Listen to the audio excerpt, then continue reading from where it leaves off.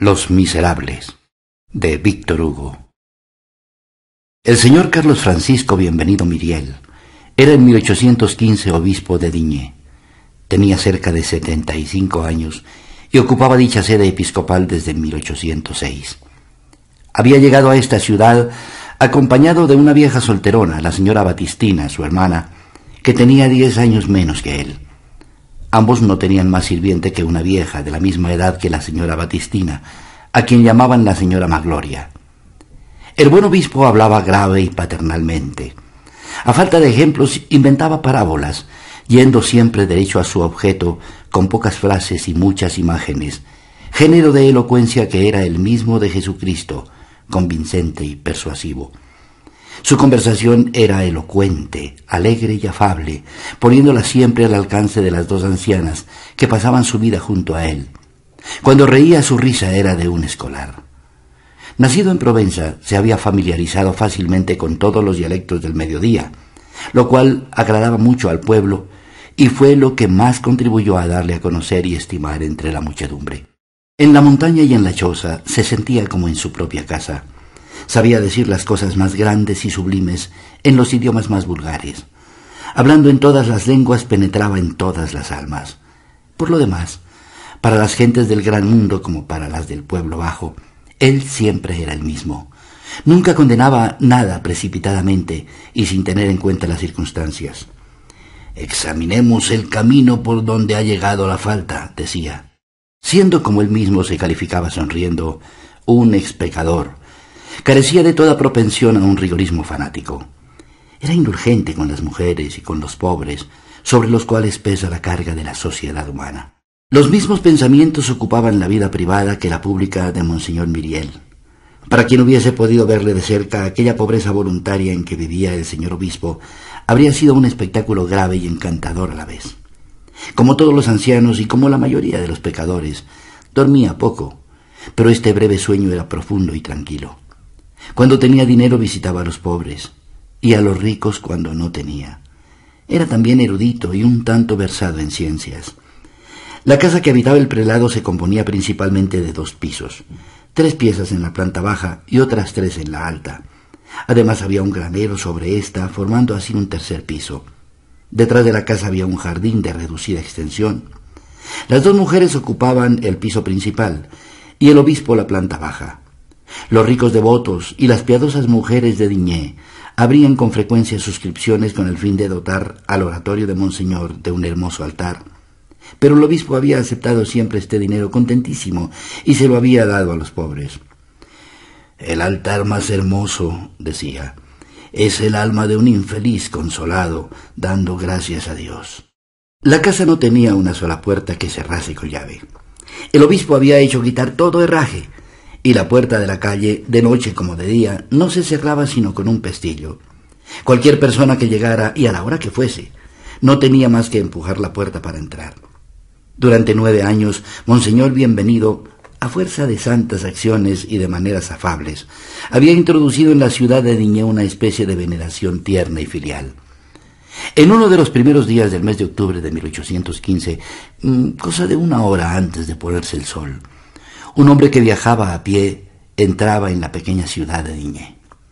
Los contados habitantes que en aquel momento se hallaban asomados a las ventanas miraban a aquel viajero con cierta inquietud. Difícil era encontrar un pasajero de aspecto más miserable. Era un hombre de mediana estatura, rechoncho y robusto, que estaba en la madurez de su edad. Podría tener unos cuarenta y seis años. Una gorra con visera de cuero echada hacia los ojos ocultaba en parte su rostro tostado por el sol y chorreando sudor.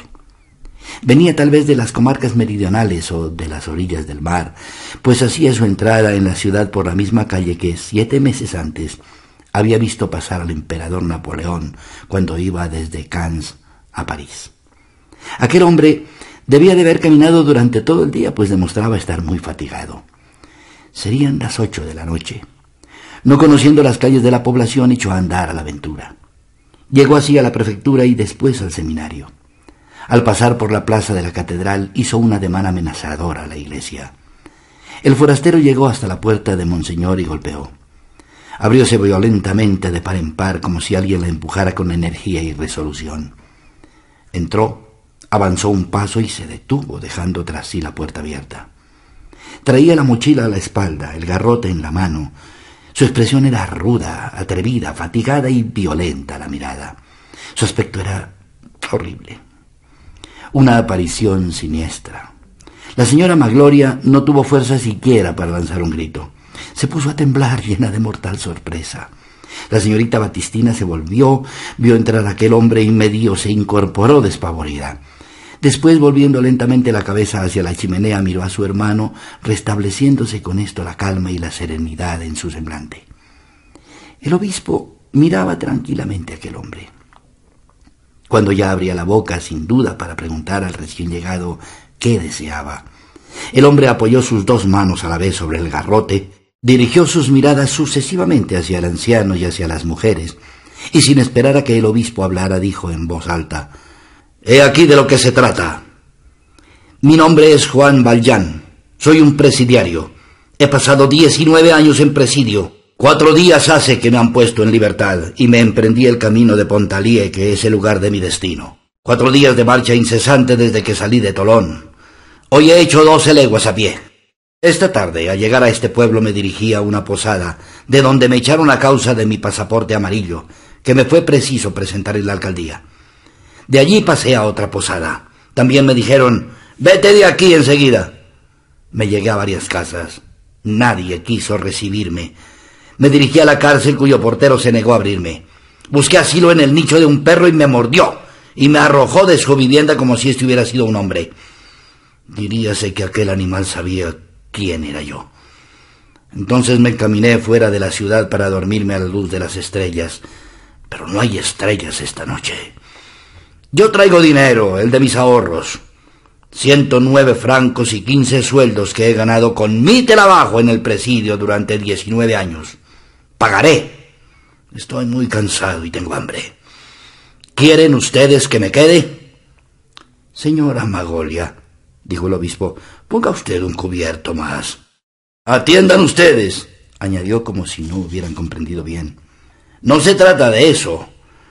No han comprendido ustedes, soy un presidiario. Vengo de galeras. He aquí mi pasaporte amarillo, como ustedes pueden ver. Esto sirve para que me echen de cualquier parte donde voy. ¿Quieren ustedes leerlo? También yo sé leer. He aprendido en el presidio. Hay allí una escuela para aquellos que lo quieren. Verán lo que han puesto en mi pasaporte. Juan Valjean, presidiario cumplido, natural de Cinco años por robo con violencia y fractura. Este hombre es muy peligroso. ¿Querrán ustedes recibirme? Señora Magolia, dijo el obispo, pondrá usted sábanas limpias en la cama de la alcoba. La señora Magolia salió para cumplir las órdenes que acababa de recibir. El obispo se volvió hacia el hombre y le dijo Siéntese usted, señor, y caliéntese. Vamos a cenar enseguida y mientras usted cena le prepararán su cama. Con esto, el hombre comprendió ya totalmente.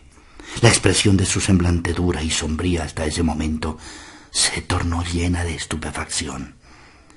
¿Será verdad? ¿Cómo? Usted me admite en su casa. A mí, a un galeote. Me llama usted señor. Ustedes tienen la bondad de no echarme. Son ustedes muy buenas personas. Pagaré bien. Perdone usted, señor posadero. ¿Cómo se llama usted? E-, es usted posadero, ¿no es verdad? Soy un sacerdote que vive aquí. ¿Un sacerdote? Uy, qué bueno es el sacerdote. Usted me recibe en su casa y enciende sus cirios para mí. Sin embargo, yo no le he ocultado a usted de dónde vengo y que soy un hombre peligroso. El obispo, sentado junto a él, le tomó cariñosamente la mano. Podría usted no haberme dicho quién era. Esta no es mi casa, es la casa de Jesucristo. Esta puerta no pregunta al que entra si tiene un nombre, sino que le pregunta únicamente si tiene un dolor. Usted sufre, tiene hambre y sed. Bienvenido sea. Luego de cenar, Monseñor condujo al forastero a una habitación cómoda para que pudiera descansar. Juan Valjean era de una pobre familia de campesinos de la. En su infancia no había aprendido a leer. Cuando llegó a la edad de hombre se hizo podador en Faveroles. Su madre se llamaba Juana Matiu, su padre Vallipán. Juan Vallán era de un carácter taciturno sin ser triste, calidad muy propia de las naturalezas afectuosas. En suma, era un tipo indiferente, torpe e insignificante, al menos en apariencia.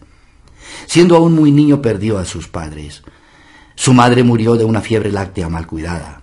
Su padre, podador como él, se había matado al caer de un árbol. No le habían quedado a Juan Vallán más que una hermana mayor que él, viuda, con siete hijos, hembras y varones. Esta hermana había criado a Juan, y mientras ella tuvo su marido dio techo y comida a su hermano menor. Murió el marido. El mayor de los siete hijos tenía ocho años y el menor un año. Juan Vallán acababa de cumplir entonces los veinticinco años. Él reemplazó al difunto padre, y a su vez le tocó sostener a su hermana que le había criado. Así se consumía su juventud en un trabajo rudo y mal pagado. Jamás se le conoció novia alguna en el hogar. Cierto que tampoco le dejaba su trabajo tiempo para el amor. Por la noche entraba cansado y comía su sopa sin hablar palabra. Él ganaba durante la época de la poda dieciocho sueldos al día. Después se contrataba como segador, como peón de albañil, vaquero, porquero o mozo de cordel. Hacía cuanto podía. Su hermana, por su parte, también trabajaba, pero ¿qué hacer con siete criaturas pequeñas?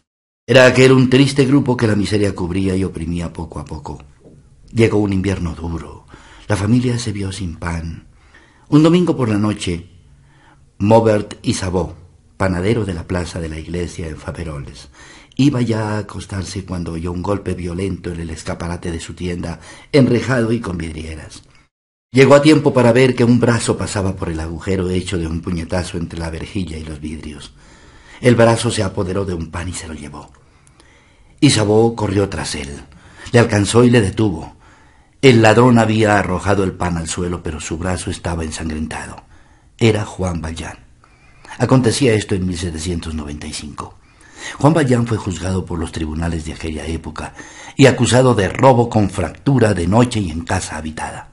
Tenía él una escopeta de la cual se servía mejor que ningún otro tirador del mundo, pues solía cazar furtivamente. Todo esto le perjudicaba bastante y fue condenado a cinco años de galeras.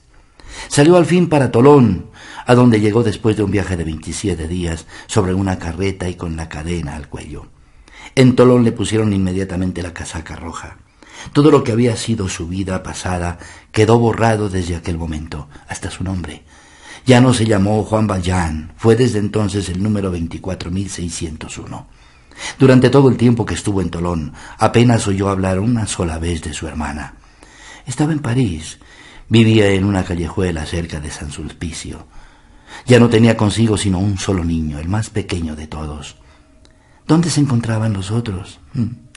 Tal vez lo ignoraba ella misma. Todas las mañanas iba a una imprenta donde trabajaba de plegadora. He aquí todo lo que pudieron contar a Juan Valjean. Jamás oyó ya en su vida ni supo nada, absolutamente nada, de aquella familia que no volvió a ver ni a encontrar nunca en el resto de sus días. En cuatro oportunidades intentó evadirse de la prisión, pero en todas fue recapturado y su pena ascendió a un total de diecinueve años de presidio. Había entrado en él por haber roto una vidriera y robado un pan. Los hombres no le habían tocado sino maltratado. Todo contacto con ellos había sido un duro golpe para él. Jamás desde su infancia nunca había encontrado una palabra amiga ni una mirada benévola. De sufrimiento en sufrimiento llegó poco a poco a esta convicción, que la vida es una guerra y que en esta guerra él era el vencido. No tenía otras armas que su odio. Resolvió, pues, afilarlas bien en el presidio y llevárselas consigo al marchar. De año en año aquel alma se había ido endureciendo cada vez más, pero de modo fatal. A corazón seco, ojos secos. Al salir del presidio hacía diecinueve años que no había derramado una sola lágrima. El reloj de la catedral daba las dos de la mañana cuando se despertó Juan Valjean. Había dormido más de cuatro horas, lo que le bastaba para su descanso. Muchos eran los pensamientos que le preocupaban, pero había uno sobre todo que se le aparecía continuamente y superaba a todos los demás. Habíase fijado él especialmente en los cubiertos de plata que la señora Magloria puso sobre la mesa. Aquellos cubiertos eran para él una verdadera obsesión. Estaban allí a unos pasos de él, casi en sus manos. Eran macizos y de plata antigua. Solo del cucharón podrían sacarse muy bien unos doscientos francos, el doble de lo que él había ganado en diecinueve años. Se puso de pie, vaciló un instante. Silencio absoluto en toda la casa. Entonces se encaminó directamente y a paso lento hacia la ventana que desde allí divisaba. La noche era oscura del todo. Empujó una puerta, dio un paso y penetró en el cuarto. En el fondo de la estancia oía la respiración igual y tranquila del obispo dormido. Un reflejo de luna hacía confusamente visible sobre la chimenea el crucifijo que parecía abrirle los brazos a ambos, con la bendición para el uno y el perdón para el otro. Juan Valjean se puso rápidamente la gorra, luego avanzó decidido a lo largo de la cama y sin mirar al obispo se fue derecho al armario que veía junto a la cabecera. Levantó la barra de hierro para arrancar la cerradura, pero como la llave estaba puesta abrió enseguida. La primera cosa que halló fue el canastillo de los cubiertos. Se apoderó de él, atravesó el aposento a grandes pasos, guardó la plata en su saco, tiró el canastillo, cruzó el jardín, escaló la tapia con la agilidad de un tigre y huyó. A la mañana siguiente, al salir el sol, Monseñor Bienvenido se estaba paseando en su jardín. Cuando acudió la señora Magloria trastornada. Monseñor, monseñor, gritaba, ¿sabe su ilustrísima dónde está el canasto de la plata? Sí, contestó el obispo. El obispo acababa de recoger el cestillo en uno de los paseos del jardín y se lo entregó a la señora Magloria. Y bien, añadió ella, no hay nada dentro. ¿Y, la plata? Ah, respondió el obispo. ¿Con qué es la plata lo que le preocupa? Yo no sé dónde está. Dios mío, nos la han robado. Es el hombre de anoche que se ha ido con ella. Al lanzar esta exclamación, dirigió la vista hacia un rincón del jardín donde se notaban las huellas evidentes del escalamiento. Mire usted, por allí es por donde se ha escapado. El obispo quedó un momento silencioso. Después levantó los ojos gravemente y dijo con dulzura a la señora Magloria Ante todo, por ventura esa plata era nuestra. Pertenecía a los pobres. ¿Y quién es ese hombre? Un pobre, sin duda. La señora Magloria se encogió de hombros. De repente llamaron a la puerta. Adelante, dijo el obispo. Abrieron la puerta y un grupo extraño y violento apareció en el umbral. Tres gendarmes sujetaban a Juan Valjean por el cuello. Ah, ¿está usted ahí? exclamó el obispo mirando a Juan Valjean. Me alegro mucho de verlo. Pero yo le había dado a usted también los candelabros que son de plata como lo demás y, y de los que podría muy bien sacar unos doscientos francos. ¿Por qué no se los llevó usted con sus cubiertos? Juan Valjean abrió los ojos y se quedó mirando al venerable obispo con desconcierto. Monseñor, dijo el cabo, entonces es cierto lo que ha dicho este hombre. Lo hemos encontrado, iba como quien huye. Lo detuvimos para registrarle y vimos que tenía esta plata. ¿Y les ha dicho a ustedes, interrumpió el obispo, que se la había dado un cura anciano en cuya casa pasó la noche? Yo me hago cargo de lo que es. Y ustedes le han traído aquí. Es una equivocación. Así pues que podemos dejarle en libertad. Naturalmente, respondió el obispo. Los gendarmes soltaron a Juan Valjean, quien retrocedió dos pasos. ¿Es que me sueltan de veras? dijo con una voz casi inarticulada. Amigo mío, añadió el obispo, antes de irse recoja sus candelabros. Ahí están. Y dirigiéndose a la chimenea, tomó los dos candelabros de plata y se los dio a Juan Valjean, quien tomó maquinalmente y como distraído los candelabros. Ahora, dijo el obispo, vaya usted en paz. A propósito, cuando vuelva, amigo mío, no tiene necesidad de pasar por el jardín. Puede usted siempre entrar y salir por la puerta de la calle. De día como de noche solo se cierra con el pestillo. Los gendarmes salieron. Juan Valjean estaba como un hombre que va a desmayarse. El obispo se acercó a él y le dijo en voz baja, No olvide usted, no lo olvide jamás, que me ha prometido emplear ese dinero en hacerse hombre de bien. Juan Valjean no recordaba haber prometido cosa alguna, Quedó como aturdido, como cortado. El obispo, recalcando aquellas palabras, añadió con solemnidad. Juan Valjean, hermano mío, usted no pertenece ya al mal, sino al bien. Lo que yo le compro a usted es su alma. La aparto de las malas ideas y del espíritu de perdición y se la entrego a Dios. Salió Juan Valjean de la ciudad de la misma forma que había emprendido antes la fuga. Anduvo errante toda la mañana sin comer y sin tener hambre tampoco. Estaba atormentado por una multitud de nuevas sensaciones. Experimentaba una especie de ira sin saber él mismo contra quién. En aquel momento oyó un alegre ruido. Volvió la cabeza y vio que venía un saboyanito de unos diez años, con su gaita al costado y la caja de marmota a la espalda. Sin dejar el canto, el niño se detenía de vez en cuando jugando con algunas monedas que llevaba en la mano y que constituían toda su fortuna. Pero sin quererlo una de ellas se fue rodando hasta donde se encontraba Juan Bayán. Este, distraído, puso un pie sobre la moneda. ¿Cómo te llamas? le preguntó Bayán.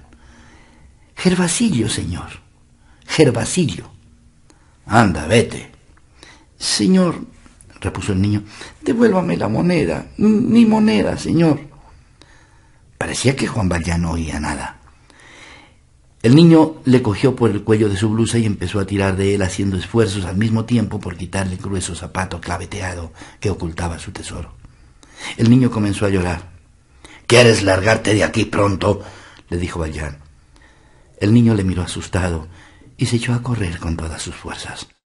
En aquel momento, Juan Valjean vio la moneda de dos francos bajo su pie y fue para él como una conmoción galvánica. ¿Qué es esto? murmuró entre dientes. Entonces gritó con toda la fuerza de sus pulmones ¡Gervasillo! ¡Gervasillo! Callóse y esperó. Nadie le respondió. En ese instante se encontró con un cura que venía a caballo. Dirigiéndose a él le dijo Señor cura, ¿ha visto usted pasar un muchacho? No, le contestó el clérigo. Juan Vallat sacó de su bolsillo dos monedas de cinco francos y se las dio al eclesiástico diciendo Señor cura, tome usted esto para los pobres. Señor cura, hágame detener, yo soy un ladrón. El cura picó espuelas a su caballo y huyó despavorido. Soy un miserable, pensó Bayán. Entonces se desgarró su corazón y empezó a llorar. Era la primera vez que lloraba en diecinueve años. Sentía indistintamente que el perdón de aquel sacerdote era el mayor asalto y el más formidable ataque de que se había visto acometido, que su endurecimiento sería definitivo si él resistía a una tanta clemencia, que si por el contrario cedía, había de renunciar a aquel odio de que las acciones de los demás hombres había llenado su alma durante tantos años. Vio su vida y le pareció horrible, su alma y le pareció espantosa entre tanto una luz suave se cernía sobre aquella vida y sobre aquella alma. Le pareció que veía a Satanás a la luz del paraíso. En el año de 1817, cuatro jóvenes estudiantes de París hicieron una buena farsa. Ni buenos, ni malos, ni genios, ni tontos, con la belleza de ese delicioso abril que se llama veinte años. Llamábanse estos Óscares Félix Tholomyes, Listolier, Famille y Blachevel. Naturalmente cada uno tenía su amante. Blachevel amaba a Favorit. Listolía adoraba a Dalia. Famille a Serafina y Tolomía a Fantina. Las tres primeras tenían más experiencia y eran más indiferentes, más abiertas, más listas en el estruendo de la vida que Fantina la rubia, la cual se hallaba en su primera ilusión. Ella no tenía familia, ningún nombre de bautismo, y la llamaron como se le antojó llamarla al primero que pasó y la vio todavía muy niña en medio de la calle. A la edad de diez años, Fantina abandonó el pueblo y entró como sirvienta en casa de unos ladrones de los alrededores. A los quince años se fue a París en busca de fortuna. Fantina era hermosa y se conservó pura todo el tiempo que le fue posible. Se puso a trabajar para vivir y más tarde para vivir también, porque el corazón tiene su hambre. Amó aventura para él y pasión para ella. Fantina había huido durante mucho tiempo de Tolomí, pero de modo que le encontraba siempre. Hay una manera de evitar a alguien que se asemeja mucho a buscarle. Era ya estudiante viejo y más listo del grupo, poseía riquezas y era un vividor de treinta años mal conservado. Un día reunió a sus compañeros y les propuso invitar a las muchachas a una gira que la aprovecharían muy bien para colmar sus expectativas. De hecho, las cuatro parejas hicieron concienzudamente todas las locuras campestres que eran posibles en aquella época. Diez meses habían transcurrido desde el día de la gira. Fantina perdió de vista a sus amigas y de paso al padre de la niña que tuvo al poco tiempo. Arrastrada por su relación con Tolomie a desdeñar el pobre oficio que sabía, había abandonado su clientela. Todas las puertas estaban cerradas para ella sin que le quedase ningún recurso. Sintió que estaba a punto de caer en la miseria y de resbalar en la ignominia. A la edad de veintidós años abandonó París, llevóse su niña a la espalda y viajó a Montfermeil. Al pasar por delante de la posada de Thenardier, vio a dos niñas jugando felices en un columpio y se detuvo ante aquella visión de gozo. Tiene usted dos niñas muy hermosas, señora, dijo Fantina a la madre de las niñas. Gracias. Yo me llamo la señora Thenardier. Somos los dueños de esta posada. Era la señora Thenardier una mujer angulosa de treinta años, coloradota, el verdadero tipo desagradable de la mujer del soldado, una marimacho melindrosa. La viajera refirió su historia y al cabo de un minuto las niñas de Thenardier jugaban con la recién llegada. Mírelas usted. Cualquiera juraría que son tres hermanas. ¿Cómo se llama su pequeña? preguntó la posadera. Coseta. Fantina le tomó la mano a la Thenardier y le dijo ¿Quiere usted cuidar a mi niña? Yo no puedo conducir a mi hija al pueblo. El trabajo no lo permite. Con una criatura no se encuentra nunca colocación. Desde que vi a sus niñas tan hermosas y contentas, eso me llegó al alma. He aquí una buena madre y además yo no tardaré mucho en volver. Yo daría seis francos cada mes en este momento se oyó la voz del esposo de la posadera. Ni un céntimo menos de siete francos y pagando seis meses adelantados. Los daré, contestó la madre. El negocio quedó hecho y Fantina se marchó con dolor.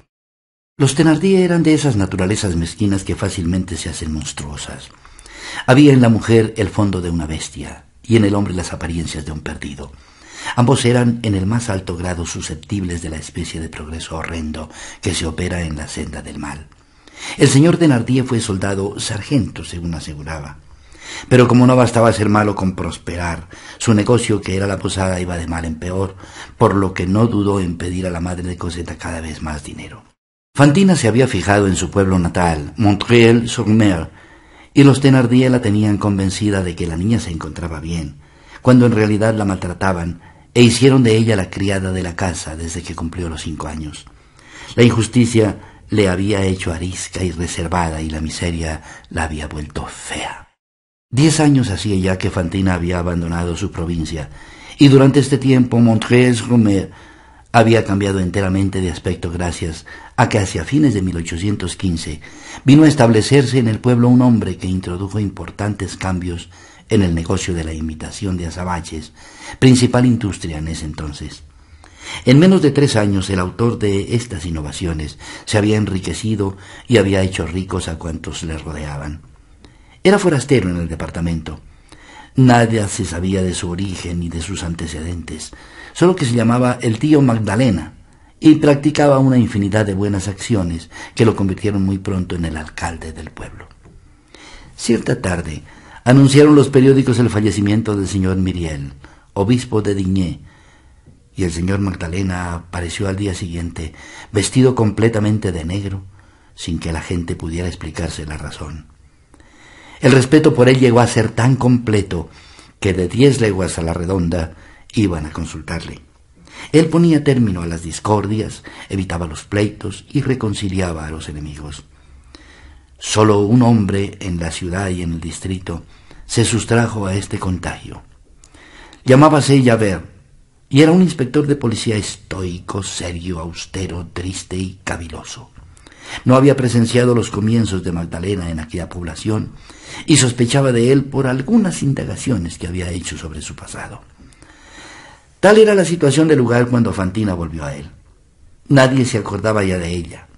Afortunadamente la puerta de la fábrica del señor Magdalena era como un semblante amigo.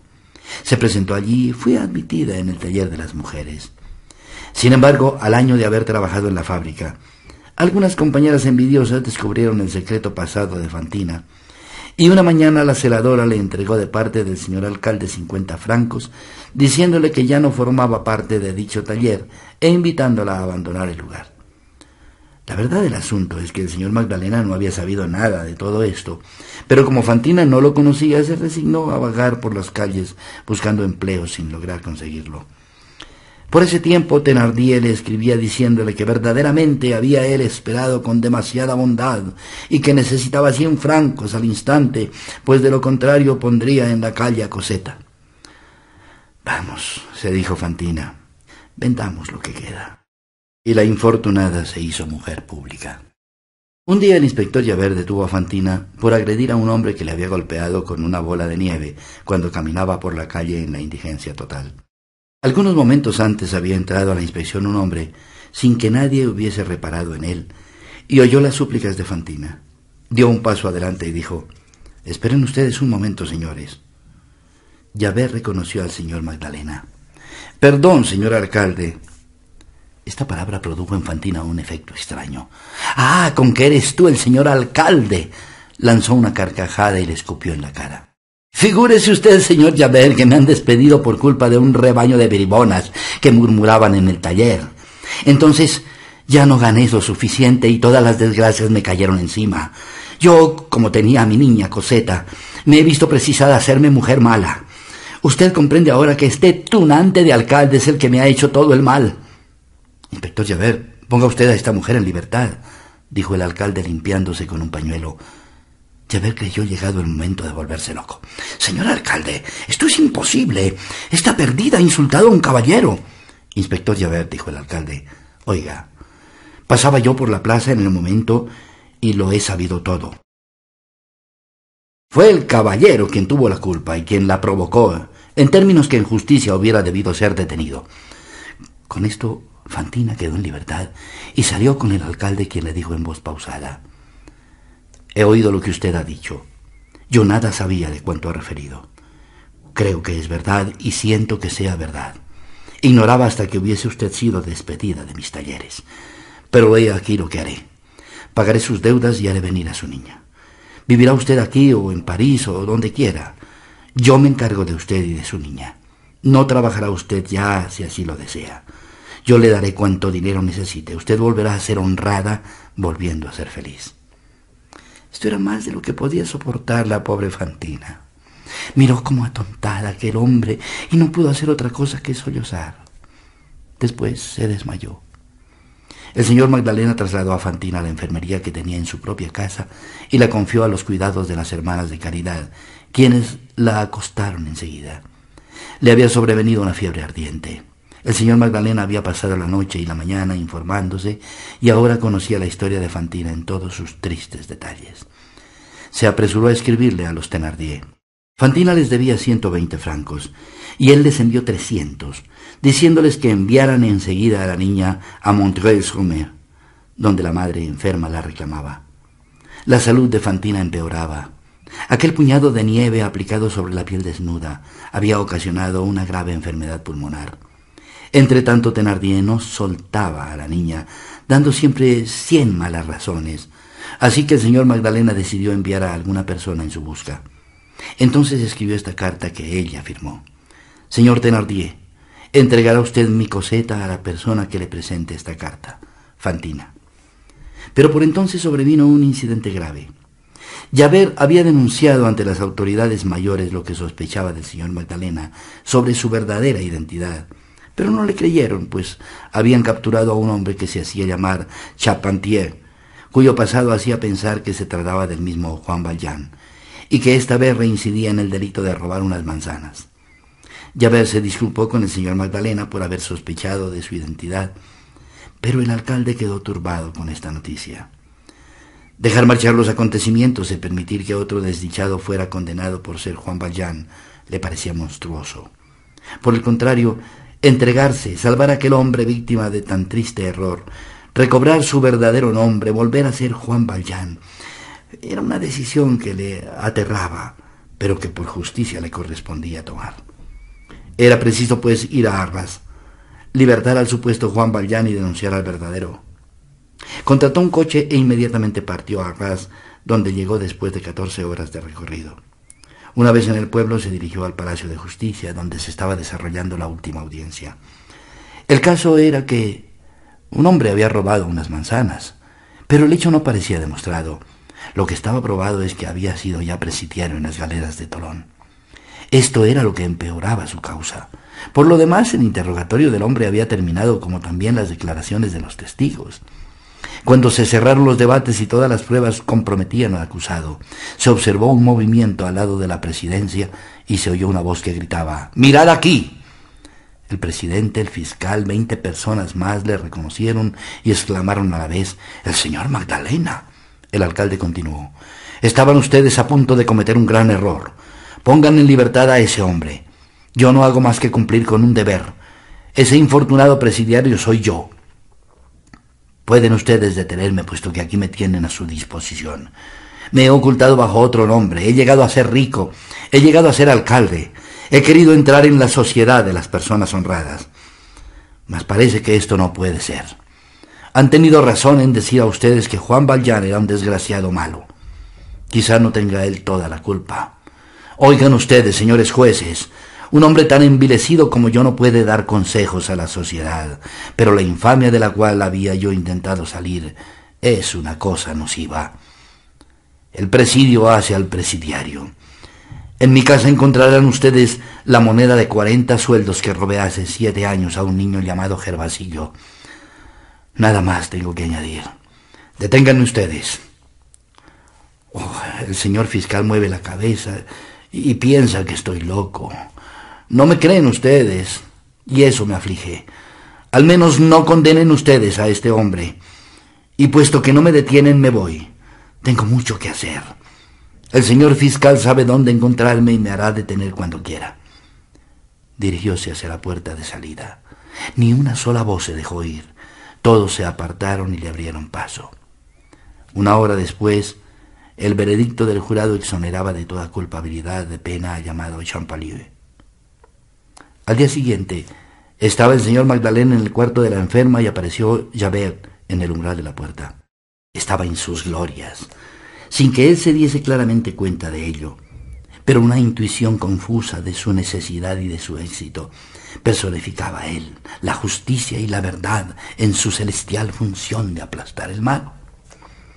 Ya sé lo que usted quiere, le dijo el señor Magdalena al verlo. Vamos, pues, respondió Yahvé. Pero en este momento Fantina empezó a delirar. ¿Dónde está mi coseta? Señor Magdalena, señor alcalde. Aquí no hay ningún señor Magdalena, dijo Yahvé. Lo que hay es un bandido, un ladrón, un galeote llamado Juan Valjean. Ese es el que yo tengo agarrado. Fantina se incorporó súbitamente y un horrible estertor salió del fondo de su garganta. Después cayó sobre la almohada. Estaba muerta. Juan Valjean puso su mano sobre la de llave que le tenía asido y le dijo, ha matado usted a esa mujer. Acabaremos, gritó Llave furioso. Yo no estoy aquí para oír discursos. La guardia está abajo. Marchemos o mando que le aten. Javert encerró a Juan Valjean en la cárcel de la villa. La prisión del señor Magdalena causó en Montreuil-sur-Mer una conmoción extraordinaria. En menos de dos horas todo el bien que había hecho quedó olvidado y ya no fue más que un presidiario. Así fue como aquel fantasma llamado el señor Magdalena se desvaneció en Montier-Sommer. Solo tres o cuatro personas en toda la ciudad permanecieron fieles a su memoria. La vieja portera que le había servido fue una de ellas. La noche de aquel mismo día la digna anciana estaba sentada en su cuarto, despavorida aún y sumida en tristes reflexiones. En aquel mismo instante se abrió la puerta vidriera de su cuarto Pasando por la abertura una mano, cogió la llave y la palmatoria y encendió la vela en la candela de la portera que estaba encendida. La portera alzó los ojos y se quedó asombrada, ahogando un grito en su garganta. Era el señor Magdalena. Dios mío, señor alcalde, exclamó.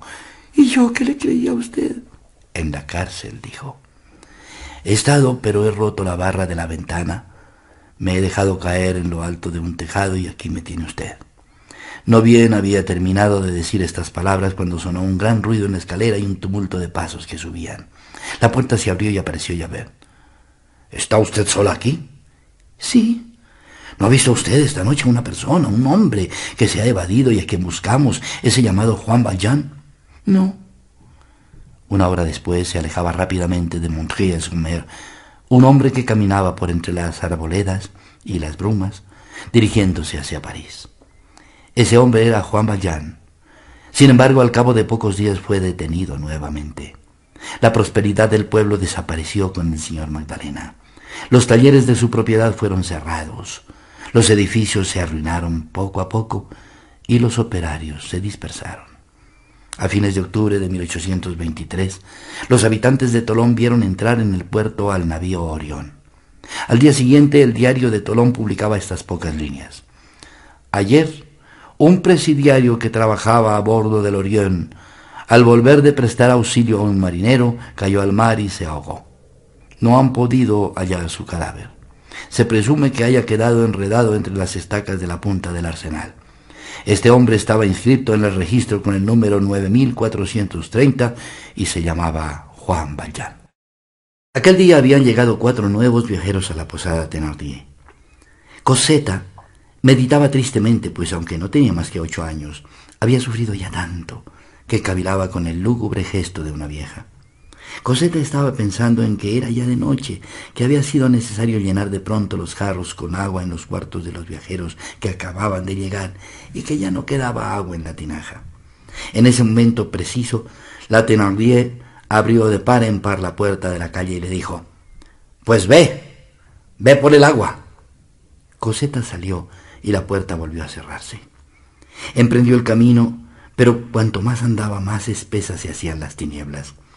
Miró con desesperación aquella oscuridad donde ya no había nadie sino animales dañinos, tal vez algún alma en pena, algún desaparecido, y temerosa llegó por fin a la fuente, donde con esfuerzo logró llenar el cubo. Caminó difícilmente unos doce pasos, pero el cubo estaba lleno y era tan pesado que se vio obligada a dejarlo de nuevo en el suelo. En el mismo instante una mano que le pareció enorme acababa de coger el asa levantándolo vigorosamente alzó la cabeza y vio que una gran figura negra, derecha y altísima, marchaba por detrás, y sin que ella lo hubiese sentido. Sin decir una palabra, aquel hombre había empuñado el asa del cubo que ella conducía y le preguntó, Niña, ¿qué edad tienes? Ocho años, señor. ¿Y vienes desde muy lejos de esa manera? Vengo de la fuente que hay en el bosque. ¿Está muy lejos donde tú vas? Está a un cuarto de hora de aquí. El hombre permaneció un rato sin hablar y luego dijo, Tú no tienes madre, sin duda. No sé, respondió la niña. Las otras sí tienen madre, pero yo no. Yo creo que nunca la he tenido. El hombre se detuvo, dejó el cubo en el suelo y se inclinó y le preguntó, ¿Cómo te llamas? Coseta. El hombre experimentó como una sacudida eléctrica. ¿Y quién te ha enviado a estas horas por agua al bosque? La señora Thenardier. Ella es mi patrona y el ama de la posada. ¿La posada? Pues bien, esta noche voy yo a alojarme en ella. Condúceme allí. Cuando llegaron a la población, Coseta guió al forastero por las calles y no pudo sustraerse a lanzar una mirada oblicua hacia la muñeca grande que estaba expuesta en la tienda de juguetes. Después llamó a la puerta. Abrieron enseguida y apareció la Thenardier. Oh, eres tú, bribonzuela. Habrá estado jugando la tunanta. Señora, dijo Cosetta temblando de pies a cabeza, aquí hay un señor que desea hospedaje. La Thenardier cambió muy pronto su semblante áspero por un gesto de amable sonrisa y buscó ávidamente con los ojos al recién llegado. ¿Es este el señor? dijo. Sí, señora, respondió el hombre llevándose la mano al sombrero. El hombre entró y la Thenardier le dirigió una segunda mirada, examinando con especial curiosidad su levita que estaba completamente raída y su sombrero bastante maltratado, y con un movimiento de cabeza consultó a su marido. Lo siento mucho, buen hombre, pero el caso es que no tengo dónde meterlo a usted. Póngame usted en cualquier parte. Yo pagaré dos francos como si estuviera en un cuarto. Eh, convenido, repuso la posadera. Era más de lo que esperaba. Al cabo de un rato la tenardía observó que Coseta se distraía y en vez de trabajar se ocupaba de las niñas que estaban jugando frente a ella. Ah, ya te he cogido, gritó. Así es como tú trabajas. Yo te haré trabajar a latigazos. El forastero, sin abandonar su silla, se volvió hacia la Thenardier. Señora, vaya, déjela usted distraerse. Es necesario que trabaje, para eso come. Yo no la mantengo para que se esté sin hacer nada. ¿Y qué hace ahora? Medias para mis niñas que no tienen y que van a quedarse con los pies desnudos. El hombre miró los pies encarnados de Coseta y prosiguió. ¿Y cuánto pueden valer ese par de medias? Lo menos franco y medio. ¿Lo daría usted por cinco francos? preguntó el hombre. Pardiez, exclamó, cinco francos, ya, ya lo creo. Compro ese par de medias y lo pago. Ahora tu labor me pertenece. Juega, niña. La Thenardier nada tenía que replicar. Mordióse los labios y su semblante adquirió una expresión de odio. Sin embargo, nada demostró, pues se podía tratar de un verdadero rico. ¿Con qué no es de ustedes esa niña? preguntó el hombre. Oh, Jesús, no. Es una pobrecilla que hemos recogido así, por caridad. De repente Coseta vio en el suelo una muñeca que las hermanas Thenardier abandonaban por jugar con el gato y la cogió. Pero la Thenardier se dio cuenta y le gritó ¡Coseta! La niña colocó la muñeca suavemente en el suelo con una especie de veneración y de desesperación. ¿Pero qué es eso? Dijo el forastero a la Thenardier. Esa miserable se ha permitido tocar la muñeca de las niñas. El hombre se dirigió hacia la puerta de la calle, la abrió y salió. Unos minutos después reapareció trayendo en sus manos la muñeca fabulosa que todas las niñas del lugar contemplaban siempre, y poniéndola de pie frente a Coseta dijo, Toma, es para ti. Coseta ya no lloraba, tenía más bien aspecto de no atreverse a respirar. Bien, Coseta, dijo entonces la Thenardier, con una voz que quería ser dulce, pero que estaba hecha de esa miel agria que las mujeres perversas emiten. ¿No quieres jugar con tu muñeca? Es verdad, señor, añadió Coseta. Es para mí la, la señora muñeca. El forastero parecía tener los ojos llenos de lágrimas e hizo un gesto afirmativo de cabeza. La, la llamaré Catalina. Aquel forastero era en este momento lo que más odiaba la Thenardier en este mundo. A la mañana siguiente el viajero preguntó, Señora, ¿hacen ustedes buenos negocios de Montfermeil? Oh, señor mío, los tiempos son muy duros. Aquí todos somos pobres. Tenemos tantas cargas. Figúrese usted, esa chiquita nos cuesta un ojo de la cara. ¿Y si yo les desembarazase a ustedes de ella? La caraza encarnada y violenta de la posadera se iluminó con una expresión horrible. ¡Oh, señor, mi buen señor! Tómela usted, cargue con ella, guárdela, cómasela y bébasela.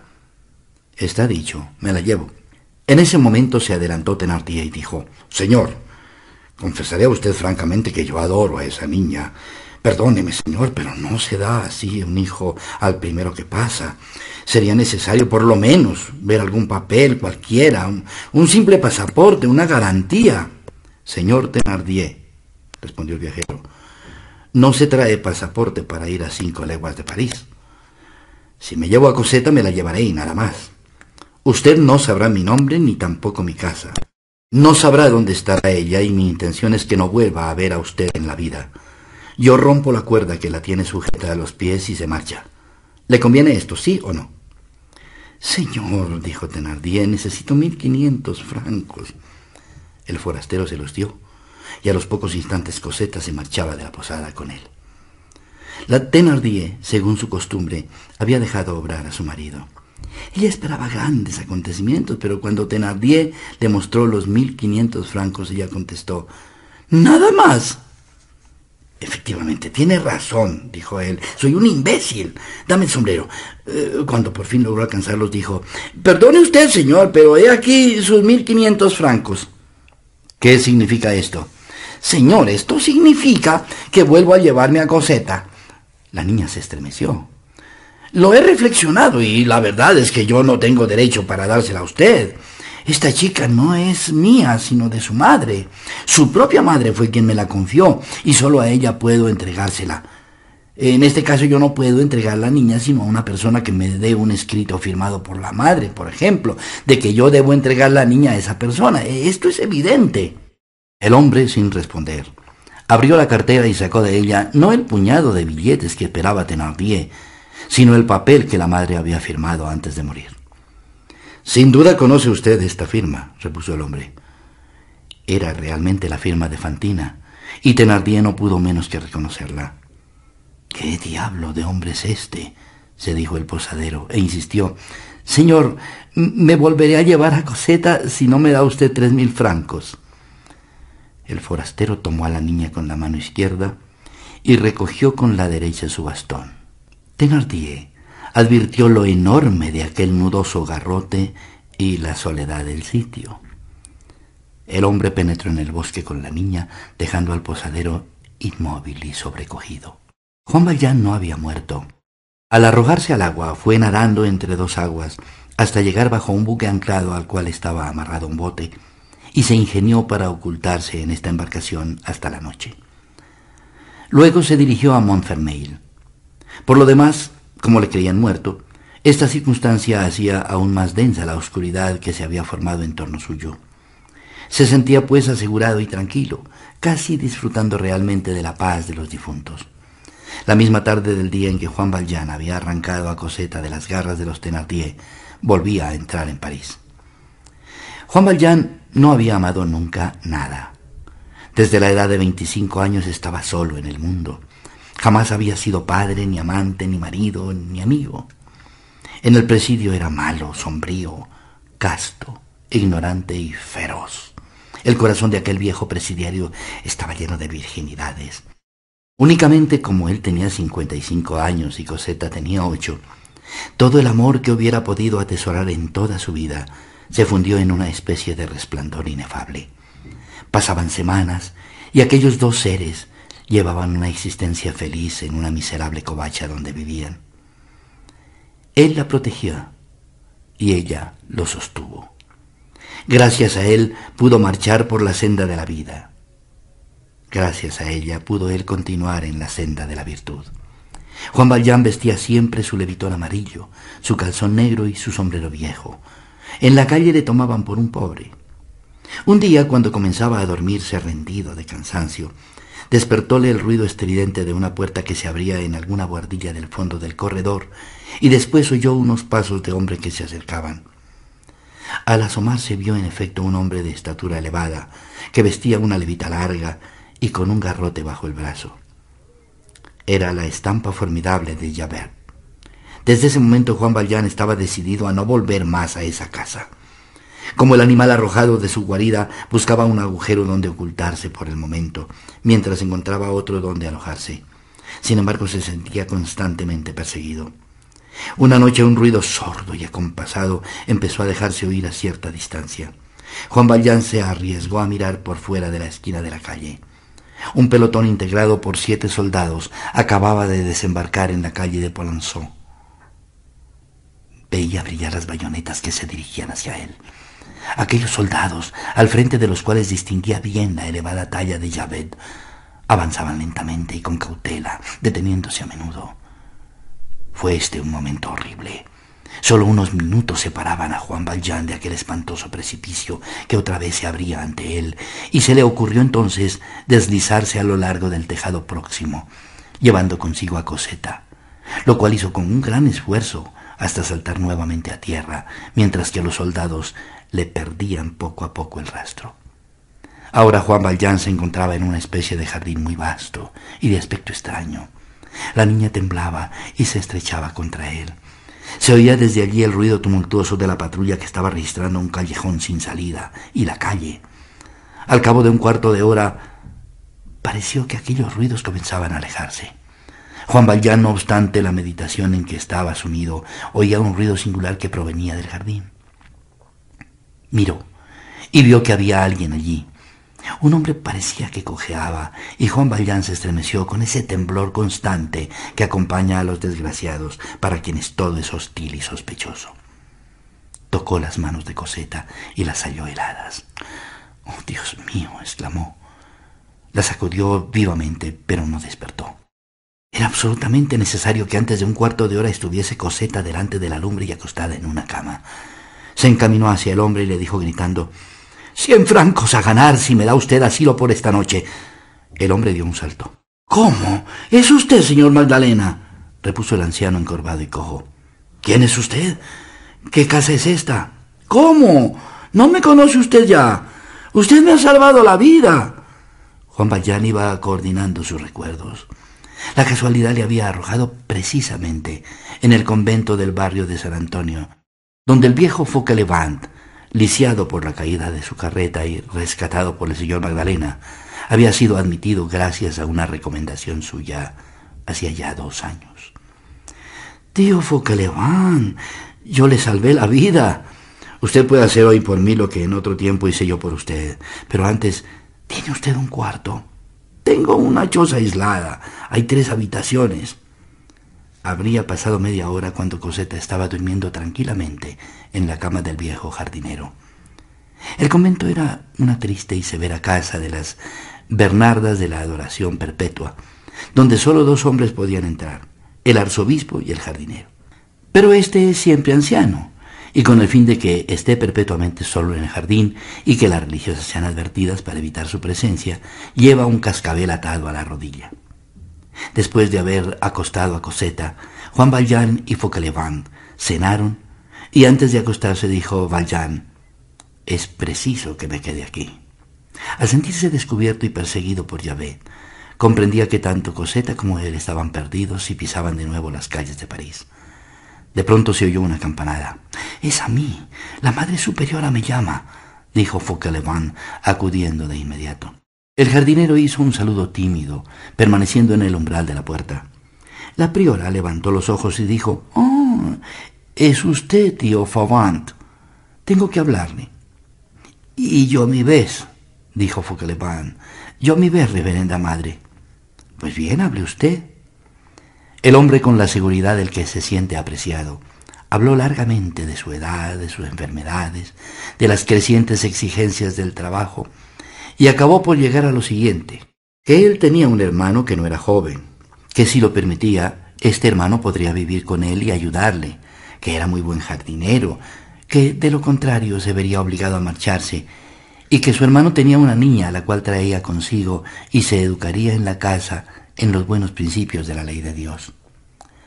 Tío Foben, le dijo, estoy contenta con usted. Mañana después del entierro tráigame usted a su hermano y dígale que me traiga a su niña. Cerca de un cuarto de hora invirtió el viejo para volverse a la barraca del jardín. Todo está arreglado, dijo el viejo a Juan Valjean. Tengo permiso para hacerle entrar, pero antes es necesario salir de aquí. En cuanto a la niña es cosa fácil. Entonces explicó que esa gracia era una recompensa por cierto servicio que él, Fauchelevent, prestaba a la comunidad que en sus atribuciones entraba algo de sepulturero, que una religiosa había muerto aquella mañana y había pedido que la enterraran en el féretro que le servía de cama y la enterrasen en la bóveda bajo el altar mayor de la capilla. Que esto estaba prohibido por los reglamentos de policía, pero que se trataba de una de esas difuntas a quienes nada se niega.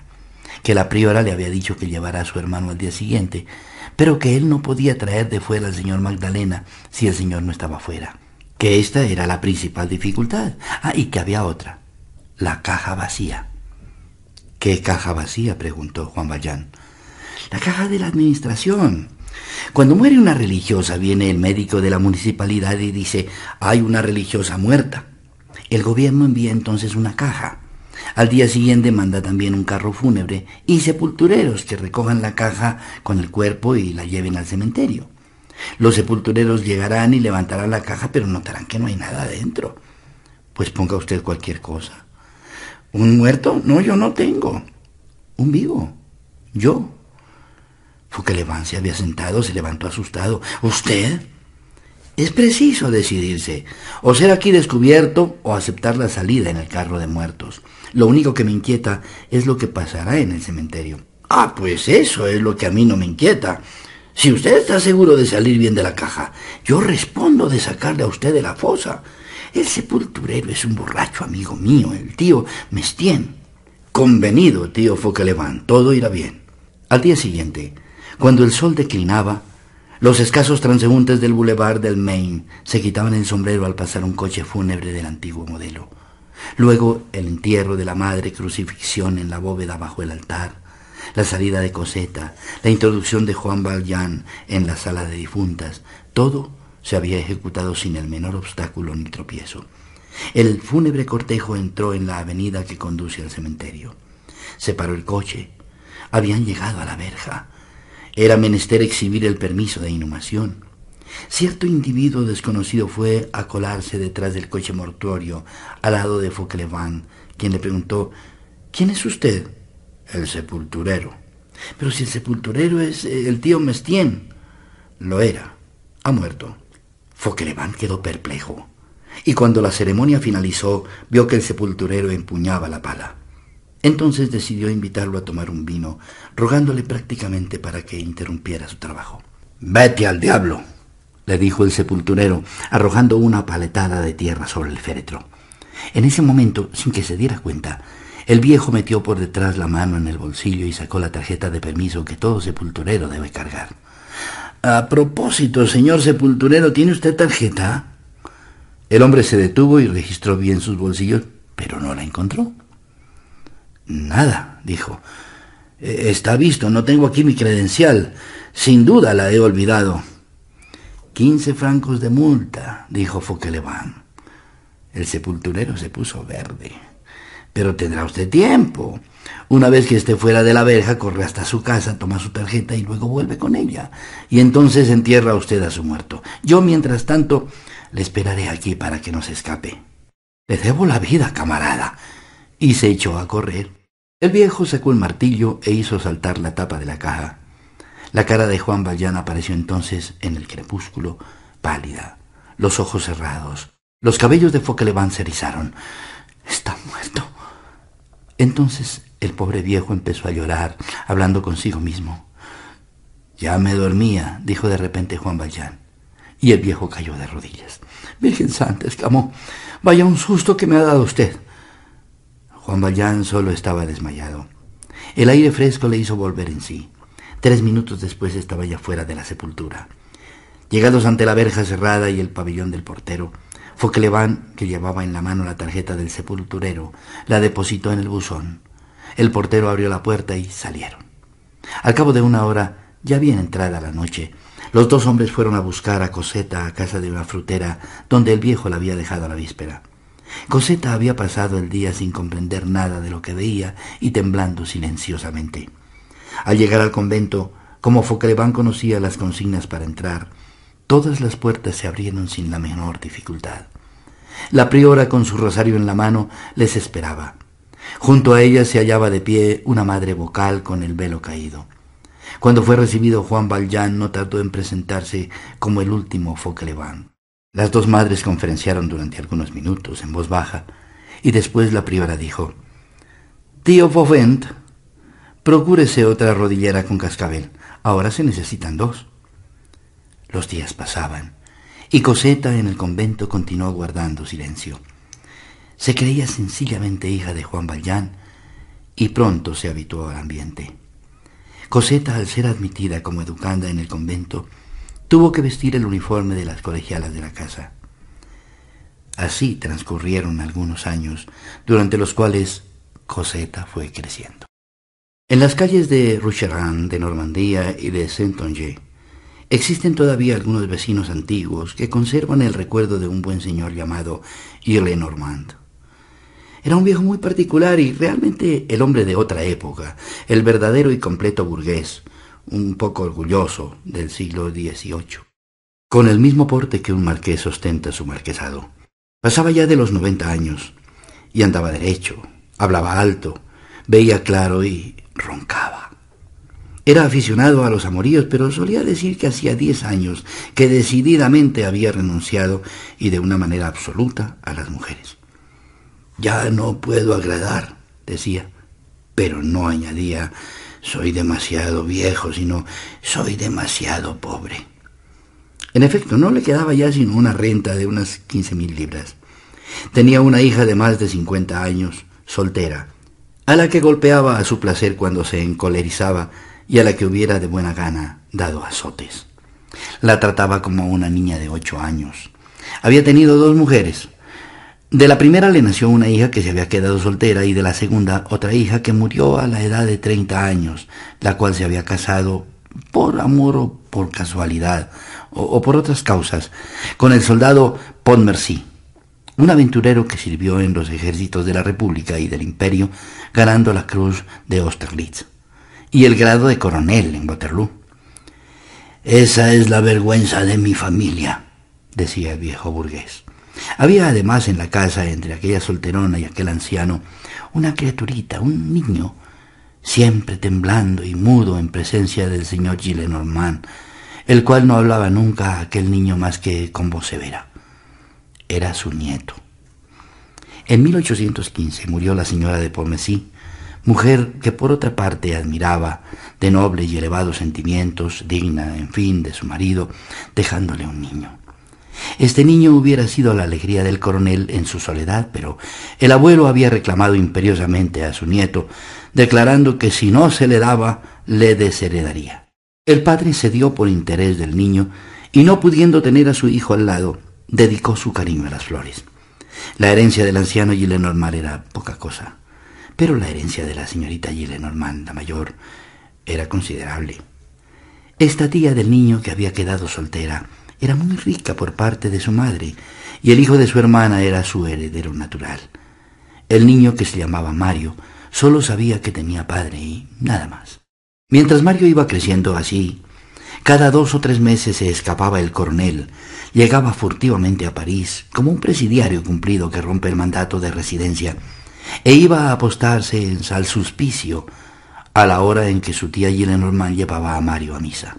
Allí, temblando de que la solterona volviese la cabeza, oculto detrás de una columna, inmóvil, sin atreverse a respirar, se extasiaba contemplando a su hijo. Aquel guerrero lleno de cicatrices tenía miedo a su vieja cuñada. De esto mismo provenían sus relaciones con el cura de Vernon, el señor Mauvet, este digno sacerdote era hermano de un pertiguero de la parroquia, el cual había observado muchas veces a aquel hombre contemplando a su hijo y conocía su sufrimiento. Dos veces al año escribía Mario a su padre cartas de deber que le dictaba su tía y que parecían estar copiadas en algún formulario epistolar. Era todo lo que le toleraba el señor Gillenormand, y el padre contestaba siempre en cartas tiernísimas que el abuelo se guardaba en el bolsillo sin leer. En 1827 Mario acababa de cumplir los 17 años y un día al entrar en casa vio a su abuelo con una carta en la mano. Mario, dijo, mañana saldrás para Vernon. ¿Para qué? preguntó el muchacho. Para ver a tu padre que está enfermo. Mario se estremeció, pues además de sus motivos de antipatía política, estaba convencido de que su padre, el espadachín, como se le llamaba, como le llamaba por lo menos el señor Gillenormand en sus días de dulzura, no le quería. Esto era evidente, puesto que le había abandonado así, dejándole al cuidado de otros. Al llegar a Vernon, el coronel ya había muerto, pero le dejó una carta a Mario, la cual leyó detenidamente. Para mi hijo. El emperador me hizo varón en el campo de batalla de Waterloo. La restauración me niega este título que yo pagué con mi sangre. Mi hijo lo tomará y lo llevará. Yo no pongo en duda que él será digno de éste. En el reverso del mismo papel, el coronel había añadido, en la misma batalla de Waterloo un sargento me salvó la vida. Este hombre se llama Thenardier. En estos últimos tiempos creo que tenía una posada de escasa importancia en un lugar de las inmediaciones de París, en Chelles o en Montfermeil. Si mi hijo le encuentra, haga en su favor cuanto pueda. Mario guardó la carta y no permaneció más que unas 48 horas en Vernon. Después del entierro regresó a París para continuar sus estudios de abogado, sin pensar jamás en su padre, como si no hubiera existido el nombre.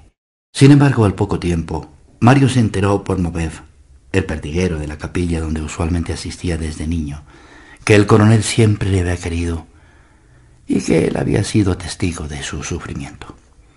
Mobev, al quien Mario comenzó a frecuentar, le contó la vida retirada y ejemplar que el coronel hacía en Vernon solitario entre sus flores. Mario llegó a conocer plenamente a aquel hombre raro, sublime y afable, aquella especie de león cordero que había sido su padre. Con el tiempo Mario comenzó a entender las ideas revolucionarias. Cuando en este misterioso trabajo que fue operándose en él hubo perdido totalmente su antigua piel de borbónico y de ultra, cuando se despojó del traje de aristócrata, de jacobino y de realista, cuando fue completamente revolucionario, profundamente demócrata y casi republicano, fue a casa de un grabador de la calle de Orfebres y mandó hacer un ciento de tarjetas con su nombre, el barón Mario de Pontmercy. Mario se ausentaba con frecuencia de la casa. En uno de estos viajes cortos había ido a Montfermeil, a fin de cumplir con la indicación que su padre le había dejado por escrito, y procuró informarse del paradero del antiguo sargento de Waterloo, el mesonero Thenardier. Pero éste se había declarado en quiebra. Su posada estaba cerrada y nadie sabía lo que había sido de él ni de su familia. Mario, con motivo de estas investigaciones, estuvo cuatro días fuera de casa. Cuando el viejo Gillenormand se enteró de los ideales y acciones de su nieto, lo desheredó. Desde ese momento, la vida se hizo severa para Mario. Noches sin sueño, veladas sin luz, sin lumbre el hogar, la semana sin trabajo, el porvenir sin esperanza, rotos los codos y las rodillas, viejo, raído y mugriento el sombrero. Mario era en aquella época un apuesto joven de mediana estatura, cabellos espesos y negros, frente muy espaciosa e inteligente, las fosas nasales abiertas y apasionadas, un ademán sincero y tranquilo, y en todo su rostro un no sé qué de alivio, pensativo e inocente. Ocupaba una modesta casucha, mediante el precio anual de treinta francos, un saquizamí sin chimenea que calificaban de gabinete donde no había tocante a muebles más que lo estrictamente indispensable. En los tiempos de su mayor miseria observaba que las jovencitas se volvían para mirarle cuando pasaba y procuraba esquivarse u ocultarse. Creía que le miraban a causa de sus vestidos viejos y que se reían de él. Pero el hecho es que le miraban por su gracia y que pensaban mucho en aquel joven.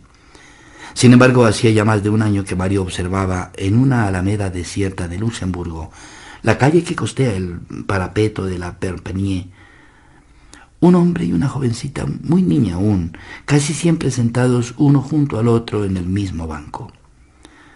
La primera vez que la jovencita que le acompañaba fue a sentarse con él en el banco que parecían haber adoptado, representaba ser una niña como de trece o catorce años, flaca, hasta el extremo de ser casi fea, desgarabada, insignificante y que, sin embargo, prometía tener unos ojos bastante hermosos. Llevaba ese traje viejo e infantil a la vez, propio de las pensionistas del convento, un vestido mal cortado de merino negro ordinario, Parecían ser padre e hija, pero nadie los conocía por sus verdaderos nombres. A falta de estos el apodo llegó a hacerse ley. Los estudiantes decían, ah, el señor Leblanc está en su banco. Y a imitación de otros, Mario había hallado modo de llamar a aquel anciano desconocido el señor Leblanc. Un día fue directamente a su paseo, y cuando estuvo en el extremo de la alameda vio siempre en el mismo banco a la consabida pareja. Solo que al acercarse a ellos advirtió que aquel era en efecto el mismo hombre, pero le pareció que la niña no era la misma. La criatura que veía ahora era una joven alta y hermosa, que tenía todas las formas más bellas y encantadoras de la mujer en el momento preciso en que ellas se combinaban aún con todas las gracias más candorosas de la infancia. Momento purísimo y fugaz, que sólo puede expresarse con estas dos palabras. Quince años. Así transcurrieron dos semanas. Mario iba a Luxemburgo no ya con ánimo de pasear, sino para sentarse siempre en el mismo sitio y sin saber por qué. Una vez llegado allí ya no se movía. Todas las mañanas se ponía su frac nuevo para no mostrarse siquiera y comenzaba la misma tarea al día siguiente. Decididamente la joven era de una hermosura maravillosa. Había acabado por atreverse y ya se acercaba al banco. Sin embargo, no se atrevía a pasar por delante de él, obedeciendo a la vez al instinto de timidez y al instinto de prudencia de los enamorados. Pasó el verano, y después el otoño, y llegó el invierno. Ni el señor Leblanc ni la jovencita habían vuelto a poner los pies en el Luxemburgo. Mario no tenía ya sino un solo pensamiento, volver a ver aquel delicioso y adorable rostro. Buscaba sin cesar, buscaba por todas partes, pero sin encontrar la menor huella.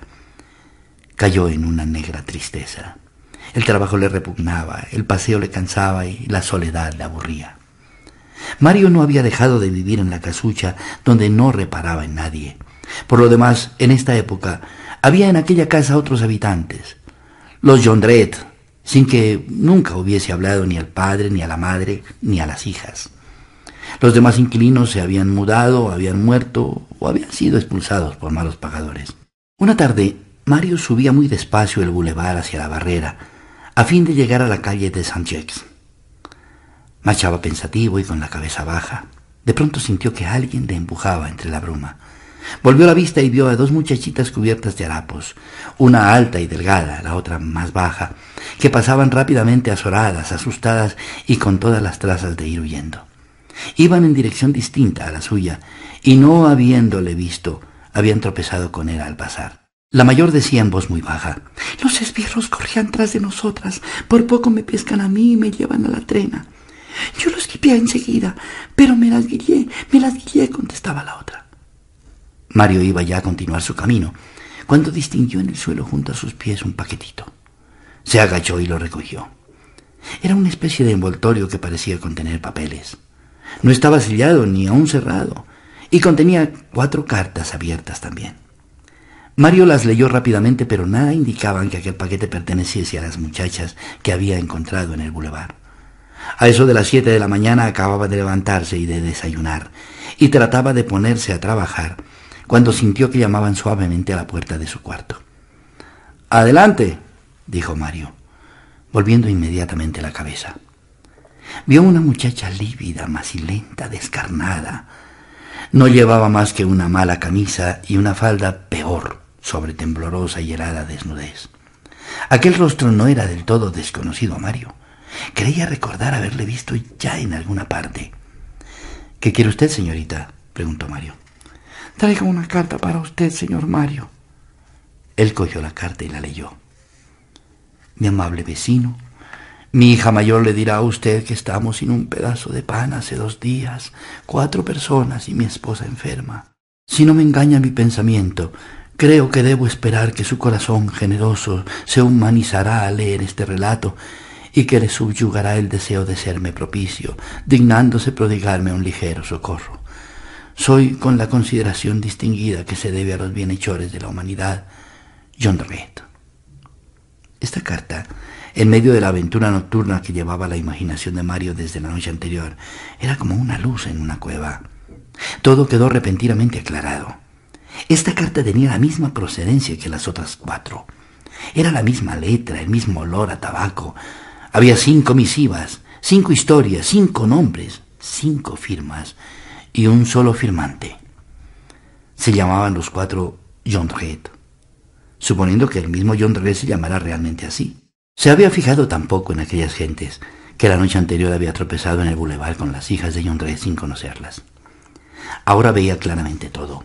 Comprendía que su vecino tenía por industria, en su angustiosa miseria, la de explotar la caridad de las personas benéficas, cuyas señas de habitación se procuraba como podía, y que escribía bajo nombres supuestos a gentes a quienes él creía ricas y compasivas, cartas que sus hijas llevaban por su cuenta y riesgo, pues aquel padre había llegado hasta ese extremo de arriesgar a sus hijas, jugando él una partida con el destino y poniéndolas a ellas en el juego. Sin embargo, mientras Mario fijaba en ella una mirada llena de asombro y de dolor, la joven iba y venía por el aposento con una audacia espectral, moviéndose y agitándose en todas direcciones sin preocuparse de su desnudez. Veíase que con todas condiciones de educación y de destino, los modales alegres de aquella muchacha hubieran podido ser de una jovencita afable y encantadora. Mario seguía entregado a sus pensamientos y la dejaba hacer. Ah, dijo la muchacha, libros. Tiene usted libros. Yo sé leer y también escribir. ¿Quiere usted verlo? Mire usted, voy a escribir una palabra para que vea. Y antes que él hubiera tenido tiempo de responder, escribió en una hoja de papel blanco que había sobre la mesa, Las guindillas están ahí. Apenas hubo acabado, exclamó, ¿Va usted algunas veces al teatro, señor Mario? Yo sí voy. Tengo un hermanito que es amigo de los artistas y que me suele dar entradas de vez en cuando. ¿Sabe usted, señor Mario, que es usted un joven muy guapo? Se acercó a él y le puso una mano sobre el hombro. Usted no me hace ningún caso, pero yo le conozco. Le suelo encontrar en la escalera. Mario se había apartado de ella lentamente. Señorita, le dijo con su fría gravedad, aquí tengo un paquete que según creo es de ustedes. Permítame que se lo entregue. Y le entregó en efecto el que encerraba las cuatro cartas. Almoteó ella contenta, exclamando, Lo hemos estado buscando por todas partes. Luego era usted con quien nos tropezamos ayer noche. No se veía nada. Inmediatamente se puso a desdoblar la súplica dirigida al señor benéfico de la iglesia de St. Jacques du Haut Pas. Es la de ese viejo que va a misa. A propósito, e, esta es la hora. Voy a llevársela. Quizá nos dé para almorzar. Y miraba a Mario con ademán irresoluto y la vista extraviada. A fuerza de buscar y de profundizar en sus bolsillos, Mario acabó por reunir cinco francos y ochenta céntimos. Era todo cuanto poseía en aquel momento y se los entregó a la joven. Cinco francos, un duro, un monarca reluciente. ¡Viva la gente rumbosa! exclamó ella. Se subió la camisa que casi le caía hasta la cintura, cubrióse los hombros, hizo un profundo saludo a Mario, después una seña familiar con la mano, y se dirigió hasta la puerta diciendo Buenos días, señor. De todos modos voy en busca de mi viejo. Mario hacía cinco años que vivía en la pobreza, en la desnudez, en los más grandes apuros, pero hasta ese momento no se persuadió de que no había conocido la verdadera miseria. Pensaba en esto Mario contemplando la pared que le separaba de los John Ray, como si hubiera podido hacer que penetrase aquel tabique su mirada llena de piedad, para que fuera a consolar y aliviar a aquellos desventurados. De repente se levantó. Acababa de descubrir hacia lo alto de la pared, muy cerca al techo, un agujero triangular formado por tres listones que dejaban entre sí un vacío. Veamos pues lo que son estas gentes, se dijo Mario, y lo que hacen. Subió sobre la cómoda, acercó su pupila a la rendija y miró. El saquizamí donde penetraban sus miradas en este momento era abyecto, sucio, fétido, infecto, tenebroso y sórdido. Resumaba una humedad grasienta, distinguiéndose a derechos varios dibujos obscenos, groseramente trazados con carbón. Vio a un hombre que tenía una barba gris. Estaba vestido con una camisa de mujer que dejaba ver su pecho velludo. Tenía una pipa en la boca y estaba fumando. Una mujerona que podía tener cuarenta años o cien. Estaba acurrucada junto a la chimenea sobre sus talones desnudos. Sobre uno de los camastros distinguía Mario una jovencita larga y descolorida, casi desnuda, sentada con los pies colgando y que ni daba señales de escuchar, ni de ver, ni de vivir. Seguramente era la hermana menor de la que había ido a su cuarto. Mario, con el corazón oprimido, iba a bajarse de la especie de observatorio que se había improvisado, cuando cierto ruido llamó su atención y le hizo permanecer en su puesto. La puerta de aquel saquizamí acababa de abrirse bruscamente y la hija mayor apareció en el umbral. Viene el señor de la iglesia de San Jacques, dijo con una expresión de triunfo. ¿El viejo? preguntó el padre. Sí, me sigue. ¿Está segura? Segura. He aquí lo que ha pasado. Entré en la iglesia, él estaba en su sitio de costumbre. Le hice mi reverencia correspondiente y le entregué la carta. La leyó y enseguida me dijo, ¿Dónde vive usted, niña? Le dije, Señor, yo voy a conducirle a usted. Él me respondió, no, déme usted las señas de su casa y yo llegaré al mismo tiempo que usted llegue. Y le di las señas. El padre se enderezó apareciendo su rostro como iluminado. Mujer, gritó, ya lo oyes. Va a venir el filántropo, apaga la lumbre. Luego dirigiéndose a su hija mayor añadió, tú, arranca la paja de la silla.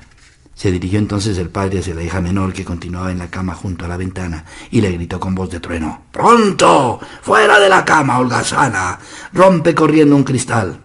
La muchacha, con una especie de obediencia maquinal, aterrada, se empinó sobre las puntas de sus pies y dio un fuerte puñetazo en un vidrio que se rompió cayendo al suelo con estrépito. Bien, dijo el padre. Querido, ¿qué quieres hacer? dijo la madre. Métete tú en la cama al instante, le respondió el marido. La hija menor, sin salir de la sombra donde se había acurrucado, enseñó su mano derecha chorreando sangre. Al romper el cristal se había herido. Fue a instalarse junto al camastro de su madre y lloraba silenciosamente. Ya lo estás viendo. Mira las bestialidades que tú haces, gritó la madre. Tanto mejor, dijo el hombre. Lo había previsto. Dirigió una mirada en torno suyo. Ahora ya podemos recibir al filántropo. En este momento dieron un golpecito suave en la puerta. El hombre se precipitó a abrirla, deshaciéndose en cumplidos y exclamando entre los más profundos saludos y sonrisas de adoración Entre usted, señor, dígnese usted entrar, mi respetable bienhechor, así como también su encantadora hija. Un hombre de edad madura y una jovencita aparecieron en la puerta del desván. Mario no había abandonado su puesto. Lo que experimentó en este momento no puede expresarlo la lengua humana. Era ella. Iba como siempre acompañada del señor Leblanc. Había dado algunos pasos por el cuarto y depositado sobre la mesa un paquete bastante voluminoso. La mayor de las dos, Jondré, se había retirado detrás de la puerta, desde donde miraba con ojos sombríos aquel sombrero de terciopelo, aquel abrigo de seda y aquel gracioso semblante irradiando felicidad. El señor Leblanc se acercó con su bondadosa y triste mirada y dijo al señor Jondré, En este paquete encontrará usted, señor mío, algunas ropas nuevas, medias y conchas de lana.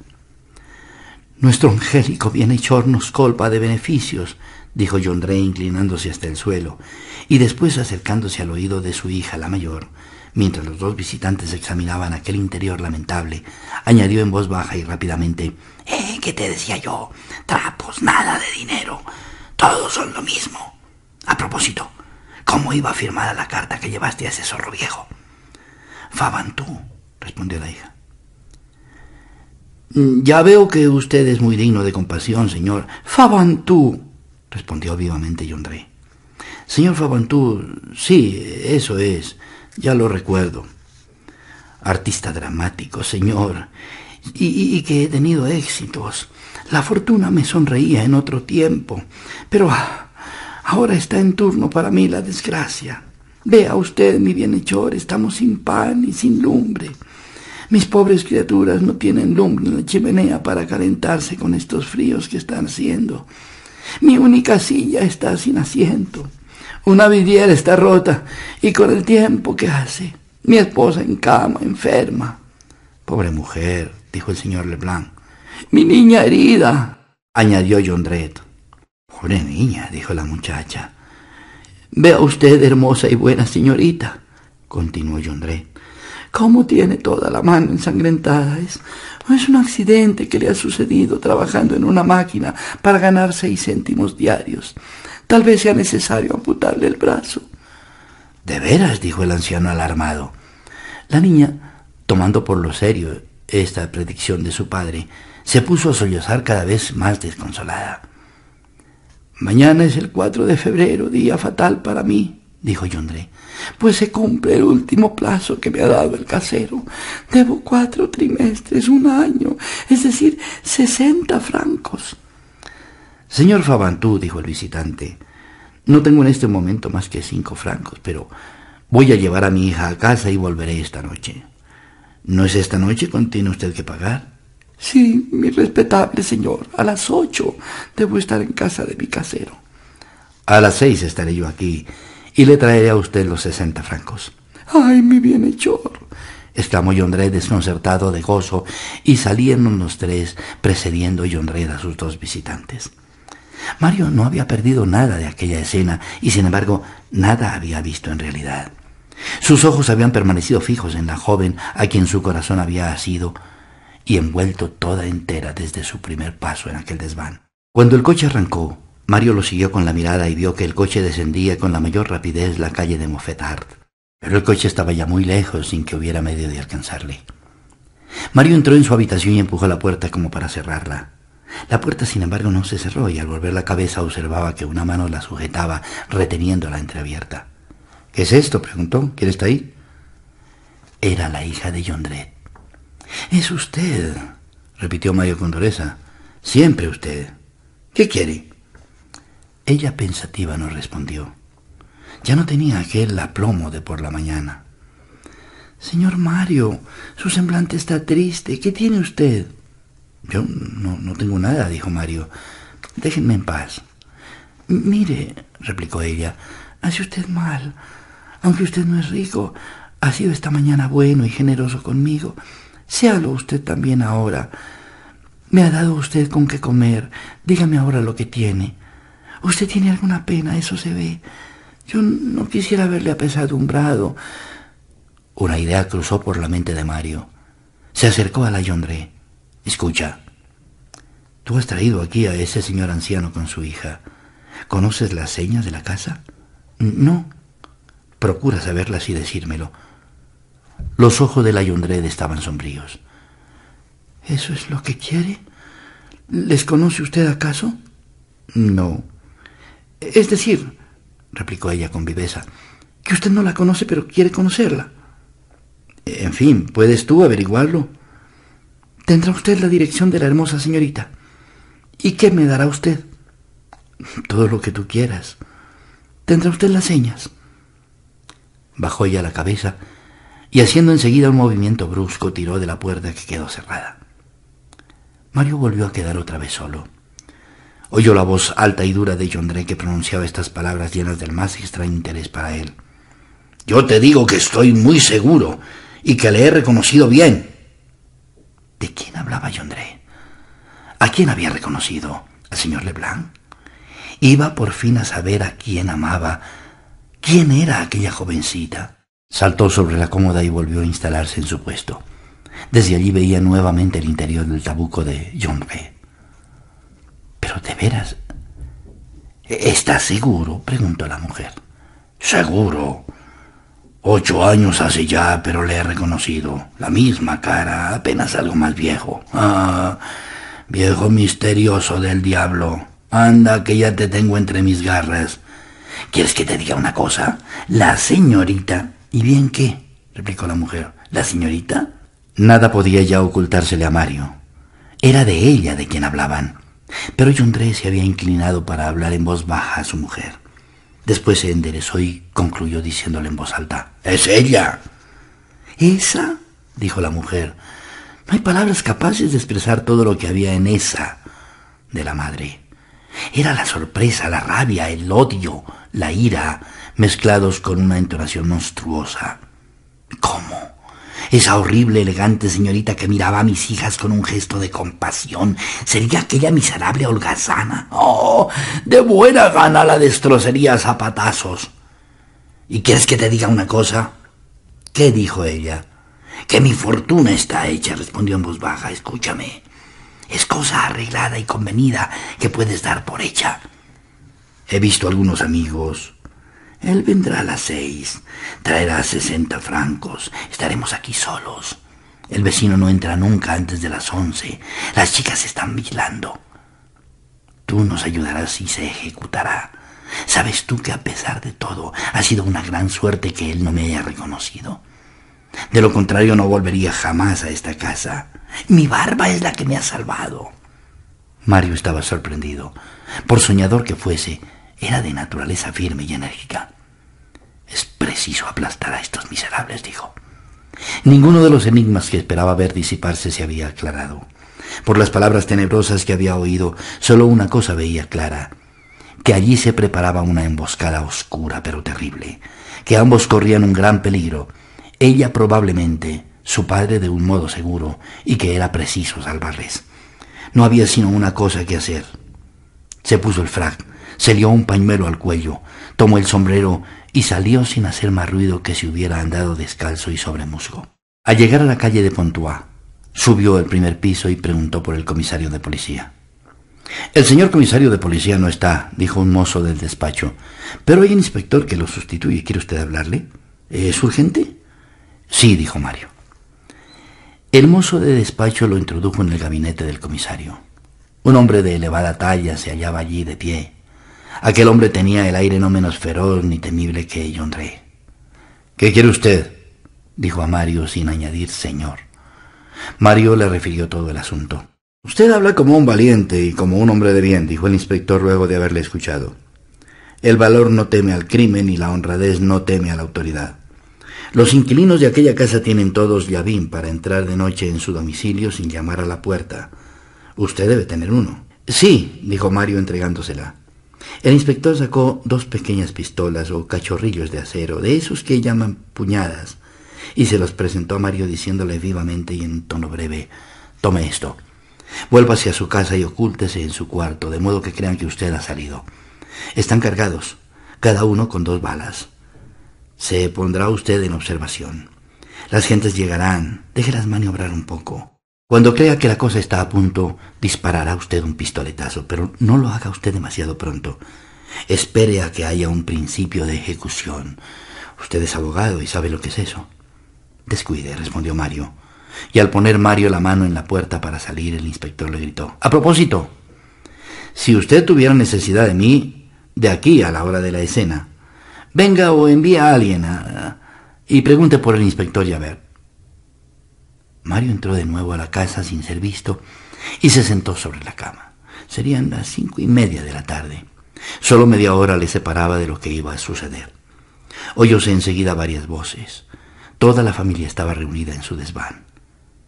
¿Y bien? dijo la madre. Todo marcha a las mil maravillas, respondió Yondré. ¿Estás segura de que no hay nadie en el cuarto del vecino? No ha entrado en casa en todo el día y ya sabes tú que es la hora en que él va a comer. Al cabo de unos instantes, Mario oyó el ruido de los pies descalzos de las dos muchachas en el corredor y la voz de John Drake les gritaba ¡Mucho cuidado! La una al lado del portillo, la otra en la esquina de la calle de Petit Banquier. No perdáis de vista un minuto la puerta de la casa y si notáis la menor cosa, inmediatamente aquí, de un salto. La hija mayor gruñó. Hacer guardia de noche descalzas y sobre la nieve. Ya estaba todo preparado cuando se abrió la puerta del cuarto. La había abierto la mujer, y quedándose en el corredor, que uno de los agujeros de la linterna sorda iluminaba desde abajo, hizo una horrible mueca de amabilidad. Entre usted, señor. Adelante, mi bienhechor, repitió Jondré levantándose precipitadamente. Apareció el señor Leblanc. Tenía un aspecto tranquilo y sereno que le hacía singularmente venerable. Puso sobre la mesa cuatro luises. Señor Fabantou, dijo, Aquí tiene usted para el pago de su alquiler y para sus primeras necesidades. Después veremos y proveeremos también. Que Dios se lo pague, mi generoso bienhechor, exclamó Yondré. Y de pronto su apagada pupila se iluminó con un horrible fulgor. Aquel hombrecillo se enderezó y apareció espantoso. Dio un paso hacia el señor Leblanc y le gritó con voz atronadora: No hablemos más. ¿Me reconoce usted? La puerta del cuarto acababa de abrirse bruscamente y dejaba ver tres hombres con blusas azules, enmascarados con caretas de papel negro. El señor Blanc estaba muy pálido. Le miró de frente y respondió, No. Yo no me llamo Fabantou. Tampoco es mi nombre John Rey. Me llamo Thenardier. Yo soy el posadero de Montfermeil. ¿Lo oye usted bien, Thenardier? ¿No me reconoce usted ahora? Un color rojo imperceptiblemente pasó por la frente del señor Leblanc, quien contestó sin que su voz temblara y sin elevarla tampoco con su serenidad habitual. Tampoco. Mario no oyó esta respuesta. Se había estremecido y se apoyó contra la pared, como si hubiera sentido el frío de una hoja de acero que le atravesara el corazón. ¿Cómo? El salvador de su padre era un bandido. Aquel hombre por el cual Mario deseaba ardientemente sacrificarse si necesario fuera. Era un monstruo. Se había prometido, si alguna vez se encontraba con Thenardier, no acercarse a él sino arrojándose a sus pies. Y le había encontrado en efecto, pero para entregarle al verdugo. Estaba temblando, todo dependía de él. Tenía en su mano, sin que ellos lo supieran, la suerte de aquellos seres que en su presencia se agitaban. Ah, gritaba Thenardier, al fin he vuelto a dar con usted, señor filántropo, señor millonario de chaqueta raída, señor que regala muñecas. ¿Con qué no me conoce usted? Por diez. Bien se burló usted de mí entonces. Usted es la causa de todas mis desgracias. Por mil quinientos francos se llevó usted una chica que yo tenía y que sin la menor duda pertenecía a gente ricas. El señor Leblanc no le interrumpió, pero le dijo cuando cayó. No sé lo que quiere usted decir. Usted se equivoca. Dispense. Estoy viendo que es usted un bandido. ¿Bandido? Sí, ya sé que nos llaman así los señores ricos. Verdad. Yo he hecho quiebra, vivo escondido, no tengo pan, no tengo un cuarto, soy un bandido. Yo soy un antiguo soldado francés y debería estar condecorado. Yo estuve en Waterloo y salvé la vida en medio de la batalla a un general llamado el conde de no sé qué. Me dijo su nombre, pero su maldita voz era tan débil que no le entendí. Tal es la historia, y ni siquiera ha hecho nunca nada por mí al general. Mario se estremeció al oír aquel reproche de ingratitud dirigido a su padre, y que estaba a punto de justificar de un modo tan fatal. De repente una lucha hercúlea se había entablado.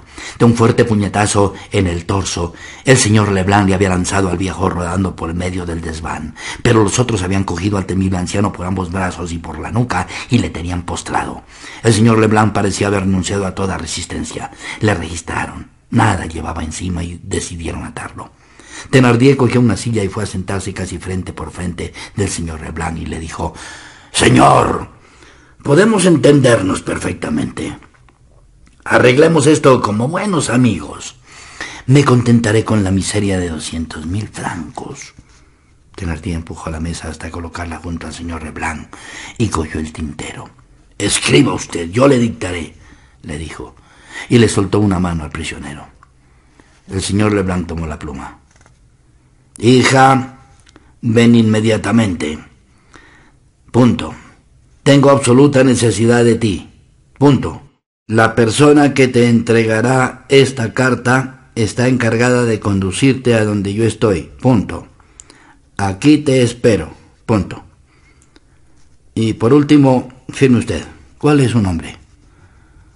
Urbano Fabre, contestó el prisionero. Ponga usted en el sobre a la señorita Fabre en su casa. ¡Esposa! gritó. Aquí tienes la carta. Ya sabes lo que has de hacer. Abajo hay un coche. Marcha corriendo y vuelve idem. El prisionero no articulaba palabra.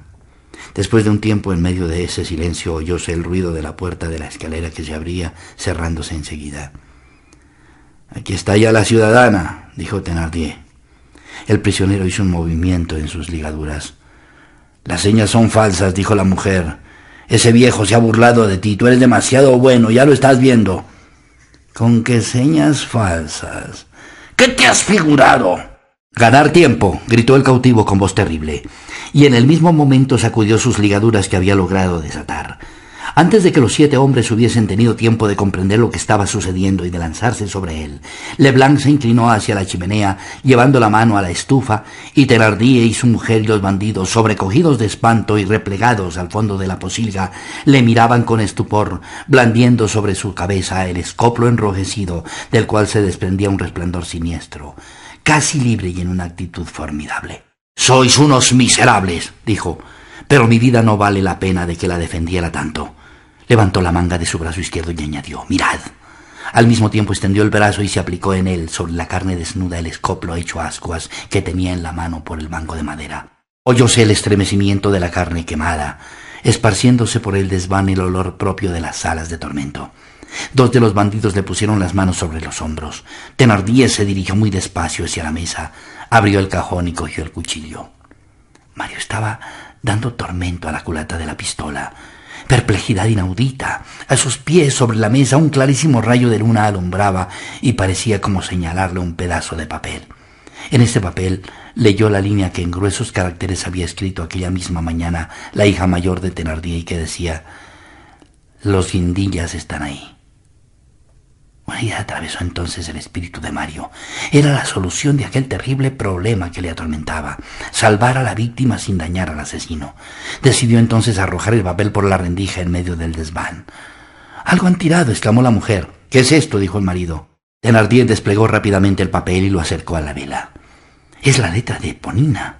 Diablos. Venga corriendo el arma. Ven tu mujer.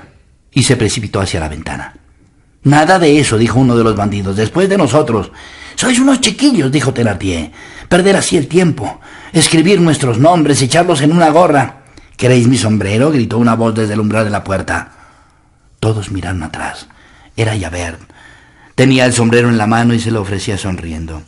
Javert se puso el sombrero y dio dos pasos en el interior de la pieza, con los brazos cruzados, el bastón bajo el sobaco y la espada en la vaina. ¡Alto ahí! gritó. No saldréis por la ventana sino por la puerta. es menos expuesto. Soy siete y nosotros quince. No nos pongamos a luchar ni andemos a trompazos como bárbaros. Tengamos juicio, señores. Una escuadra de agentes de la policía, sable en mano, y de alguaciles armados de masas, de rompecabezas y de garrotes, se precipitó en la covacha al llamamiento de Javert. Enseguida ataron a los bandidos. Hacer que se acerque aquí ese caballero a quien estos hombres tenían atado. Los agentes miraron a su alrededor. ¿Y bien? preguntó Javert. ¿Dónde está? El prisionero de los bandidos había desaparecido. Diablos, dijo Javert entre dientes. Este debía de ser más listo.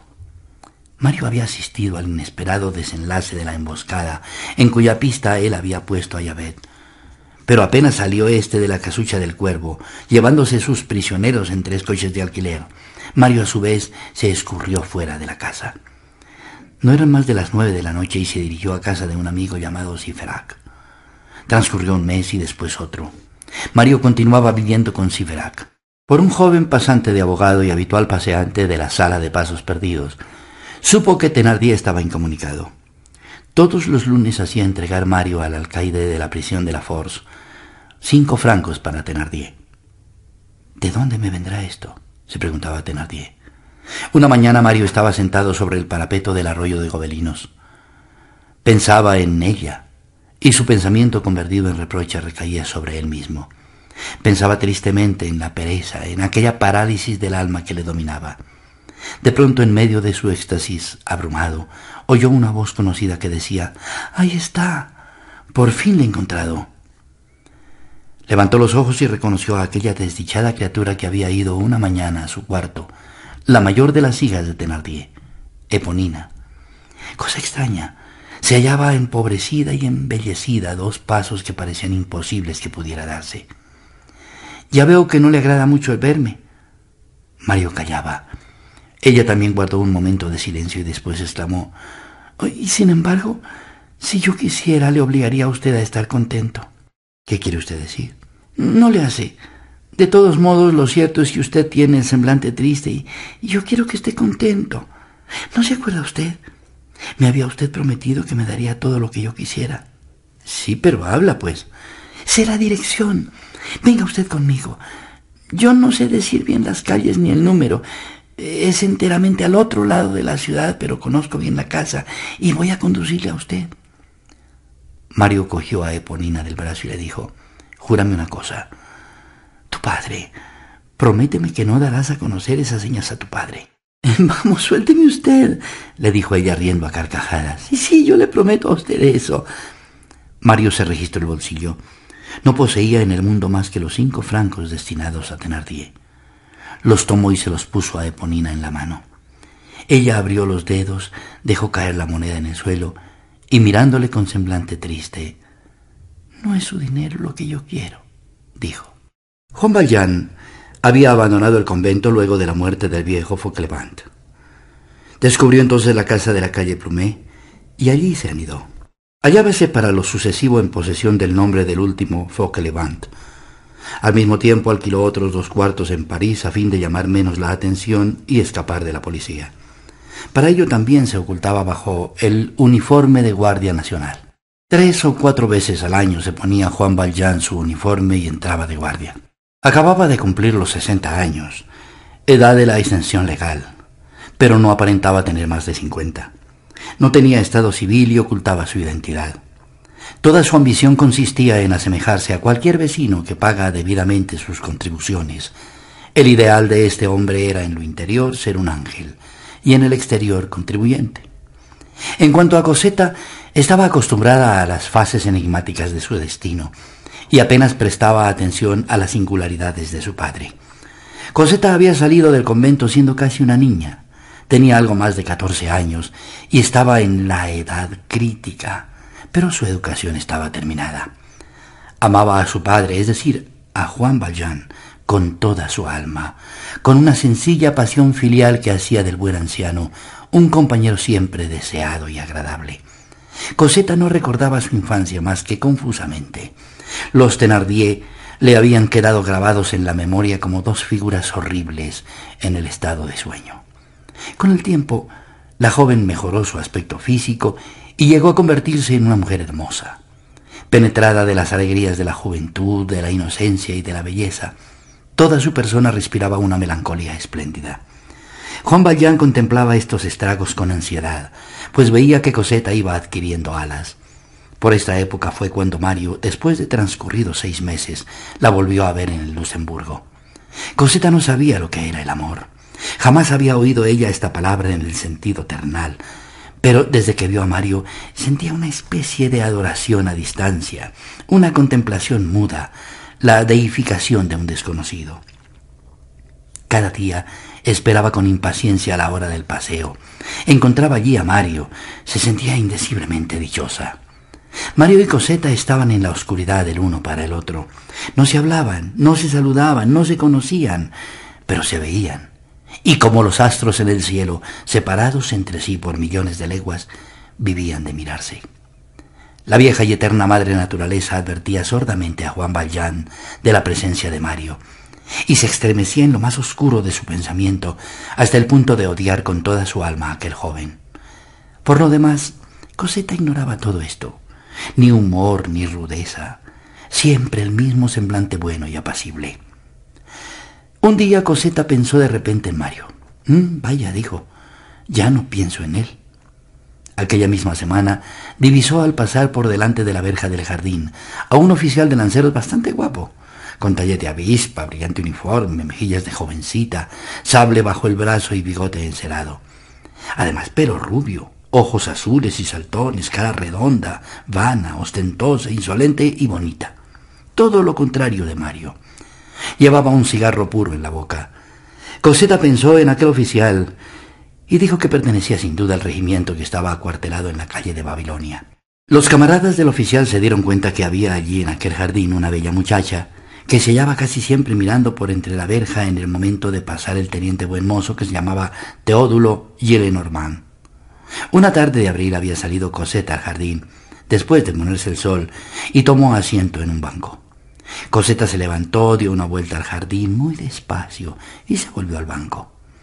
En el momento en que iba a sentarse, observó que en el mismo sitio que había dejado poco antes había una piedra bastante gruesa que evidentemente no estaba allí hacía un instante. Levantó la piedra y encontró debajo de ella algo que parecía una carta y un cuaderno, una especie de diario. Coseta se apoderó de la carta y vio que no tenía remitente. Una fascinación irresistible se apoderó de ella y leyó. La reducción del universo a un solo ser, la dilatación hasta Dios de un solo ser. Tal es el amor. Qué triste está el alma cuando está triste por el amor. Durante esta lectura, Coseta iba poniéndose poco a poco pensativa. Luego tomó el cuaderno y leyó. En el momento en que levantaba los ojos de la última línea del cuaderno, el bello oficial pasó triunfante por delante de la verja. Coseta lo encontró horrible y se puso de nuevo a contemplar la carta y el cuaderno. La carta estaba escrita con una letra maravillosa, según Coseta, de la misma mano, pero con tinta diferente y por consiguiente en días distintos. Jamás había leído Coseta una cosa igual. Aquel manuscrito de quince páginas le revelaba brusca y dulcemente todo el amor, el dolor, el destino, la vida, la eternidad, el principio y el fin. ¿Quién las había escrito? se preguntaba. Coseta no vaciló un instante. Un solo hombre. Él. Oh sí, decía, qué bien reconozco yo todo eso. Es todo lo que yo había leído en sus ojos. Coseta pasó todo el día sumida en una especie de aturdimiento. Empezó a pasear bajo los árboles y allí estaba otra vez la piedra. Se sentó, colocó su delicada y blanca mano sobre aquella piedra como si quisiera acariciarla y darle las gracias. De repente sintió esa impresión indefinible que se experimenta cuando uno tiene a alguien detrás de sí. Volvió ella la cabeza y se enderezó. Era él. Estaba con la cabeza descubierta. Parecía descolorido y enflaquecido. Aquí estoy. Perdone usted, dijo Mario. Tengo el corazón lacerado. Me era imposible vivir como vivía y he venido. ¿Ha leído usted lo que puse ahí sobre ese banco? Me conoce. No tenga usted miedo de mí. Y hace mucho tiempo, pero ¿se acuerda usted del día en que me miró? Si usted supiera, la quiero a usted tanto que la adoro Perdóneme usted si le hablo. Yo no sé lo que le digo, quizá la molesto. ¿Se enfadará usted conmigo? Oh, madre mía, dijo Coseta, y cayó postrada sobre sí misma como si se muriera. Tomóle ella una mano y la puso sobre su corazón. Él sintió el tacto del papel que estaba allí y balbuceó, ¿Con que me ama usted? Calla, lo sabes muy bien, dijo ella suavemente. Un beso. Esto fue todo. Ambos se estremecieron y se miraron en la sombra con ojos centelleantes. A partir de aquella hora bendita y santa en que un beso desposó a aquellas dos almas, Mario fue todas las noches a aquel sitio. Existían vagamente agobiados de felicidad y se habían hecho el mayor número de confidencias posible, pero sin que éstas fueran mucho más allá de sus nombres. Juan Valjean, por su parte, no sospechaba nada. Algo menos soñadora que Mario, Coseta estaba alegre y esto era todo lo que le bastaba a Juan Valjean para ser feliz. Como él se retiraba siempre a las diez de la noche, en esas ocasiones no iba Mario al jardín, sino pasada esa hora, cuando oía desde la calle que Coseta abría la puerta de la escalera que conducía al jardín. Una noche dirigíase Mario al lugar de la cita por el Boulevard de los Inválidos, habitualmente con la frente baja y a tiempo de dar vuelta a la esquina de la calle Plumé. Oyó que una voz le decía muy cerca de él, Buenas noches, señor Mario. Levantó la cabeza y reconoció a Eponina. Este encuentro le produjo un efecto extraño. Ni una sola vez había pensado en aquella muchacha desde el día en que le condujo a la calle de Prumé. No la había vuelto a ver y se había borrado completamente de su memoria. Solo motivos de reconocimiento tenía para con ella y sin embargo le molestaba encontrársela. En cualquier otra circunstancia, Mario hubiera sido muy otro para Eponina, pero absorbido por Coseta ni siquiera se había dado claramente cuenta de que aquella Eponina se llamaba Eponina Thenardier y que llevaba un nombre escrito en el testamento de su padre, aquel nombre por el cual se hubiera sacrificado tan ardientemente algunos meses antes. Al verla respondió con cierto embarazo, Ah, es usted, Eponina. ¿Por qué me habla usted de usted? ¿Acaso le he hecho algo? No, contestó él. Vaya, dígame usted... Y aquí se detuvo. Parecía que le faltaban palabras a aquella criatura en otro tiempo tan indiferente y tan osada. Intentó sonreír, pero no pudo. Y añadió, Buenas noches, señor Mario. Y se fue. Al día siguiente, seguía Mario al anochecer el mismo camino que la víspera, con los mismos pensamientos de delicioso encanto en su corazón, cuando divisó entre los árboles del bulevar a Eponina, que se dirigía hacia él. Dos días seguidos ya era demasiado. Se volvió bruscamente, abandonó el boulevard, cambió de camino y se marchó a la calle de Plumé por la calle de Monsieur. Esto hizo que Eponina le siguiese hasta la calle de Plumé, cosa que no había hecho nunca. Le vio apartar el barrote de la verja e introducirse en el jardín, mientras ella permanecía en un rincón oscuro, escondida por más de una hora, sin moverse y entregada a sus cavilaciones. Al cabo de algunos instantes, Seis hombres que marchaban separados y a cierta distancia unos de otros a lo largo de la pared y que hubieran podido tomarse por una patrulla de ronda entraron en la calle de Plumé. Era Thenardier con cinco delincuentes al poco tiempo de haberse fugado de la prisión. Al ver frente a él a una muchacha pálida, retrocedió y preguntó, ¿Quién es esa bribona? Su hija de usted, contestó ella. Ah, ¿qué haces tú aquí? ¿Por qué vienes aquí a impedirnos trabajar? Pues ¿Cómo se las ha arreglado usted? Es menester que tenga usted mucho talento para haberse largado de allá. Cuénteme usted cómo ha sido esto. ¿Y mi madre? Deme usted noticias de mamá. Va bien. Yo nada sé de ella, déjame y te digo que te vayas. Justamente yo no quiero irme, dijo Eponina. Me despide usted cuando ya hace cuatro meses que no le veía y que apenas he tenido tiempo de besarle. Con que al fin quieren ustedes entrar en esta casa. Pero es una gente muy pobre. Una barraca donde no tienen un cuarto. Anda y vete al diablo, dijo Thenardier. Amigos míos, escuchad bien lo que voy a deciros. En primer lugar, le llegáis a entrar en este jardín si tocáis esa verja, me pongo a gritar enseguida, me pongo a golpear en las puertas, despierto a todo el mundo, llamo a la policía y os hago enjaular a todos, empezando por mi padre. Y sería capaz de hacerlo, dijo Thenardier. Todo esto es de mal agüero, añadió uno del grupo. Vámonos y se marcharon refunfuñando. mientras la pobre Eponina montaba la guardia junto a la verja del jardín y seis bandidos armados emprendían la fuga ante la resistencia de una muchacha. Mario estaba al lado de Coseta, quien había llorado y tenía los ojos de un color rojo bastante encendido. ¿Qué tienes? preguntó Mario. Mi padre me ha dicho esta mañana que esté preparada, que tiene ciertos negocios que arreglar y que tal vez vayamos a hacer un viaje. Tal vez vayamos a Inglaterra. Mario se estremeció de pies a cabeza. Pero si esto es monstruoso, exclamó Mario. ¿Y, cuándo te marcharás? No me ha dicho cuándo. ¿Y cuándo volverás? Tampoco me ha dicho cuándo. Está bien, dijo Mario, entonces yo iré a otra parte. ¿Qué quieres decir? Ahora escucha, agregó Mario, no me esperes mañana. ¿Por qué? No me esperes hasta pasado mañana, ya lo verás. Un día sin verte, pero eso no es posible. Sacrificaremos un día para obtener tal vez toda la vida. ¿Pero qué vas a hacer mañana por la noche? Dímelo. Voy a hacer una prueba. Pues yo rogaré a Dios y pensaré en ti desde aquí hasta entonces a fin de que salgas con bien. Y cuando Mario salió, la calle estaba desierta.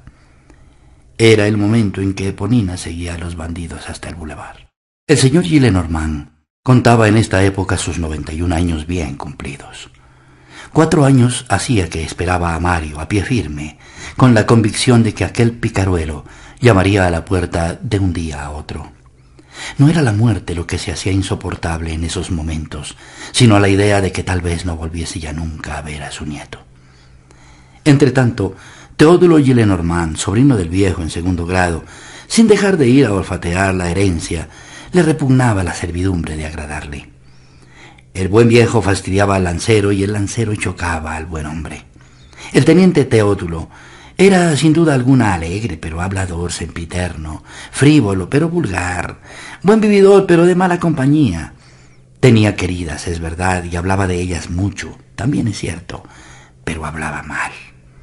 El señor Gillenormand estaba ya cansado de oírle contar las aventuras que tenía en los alrededores de su cuartel, calle de Babilonia.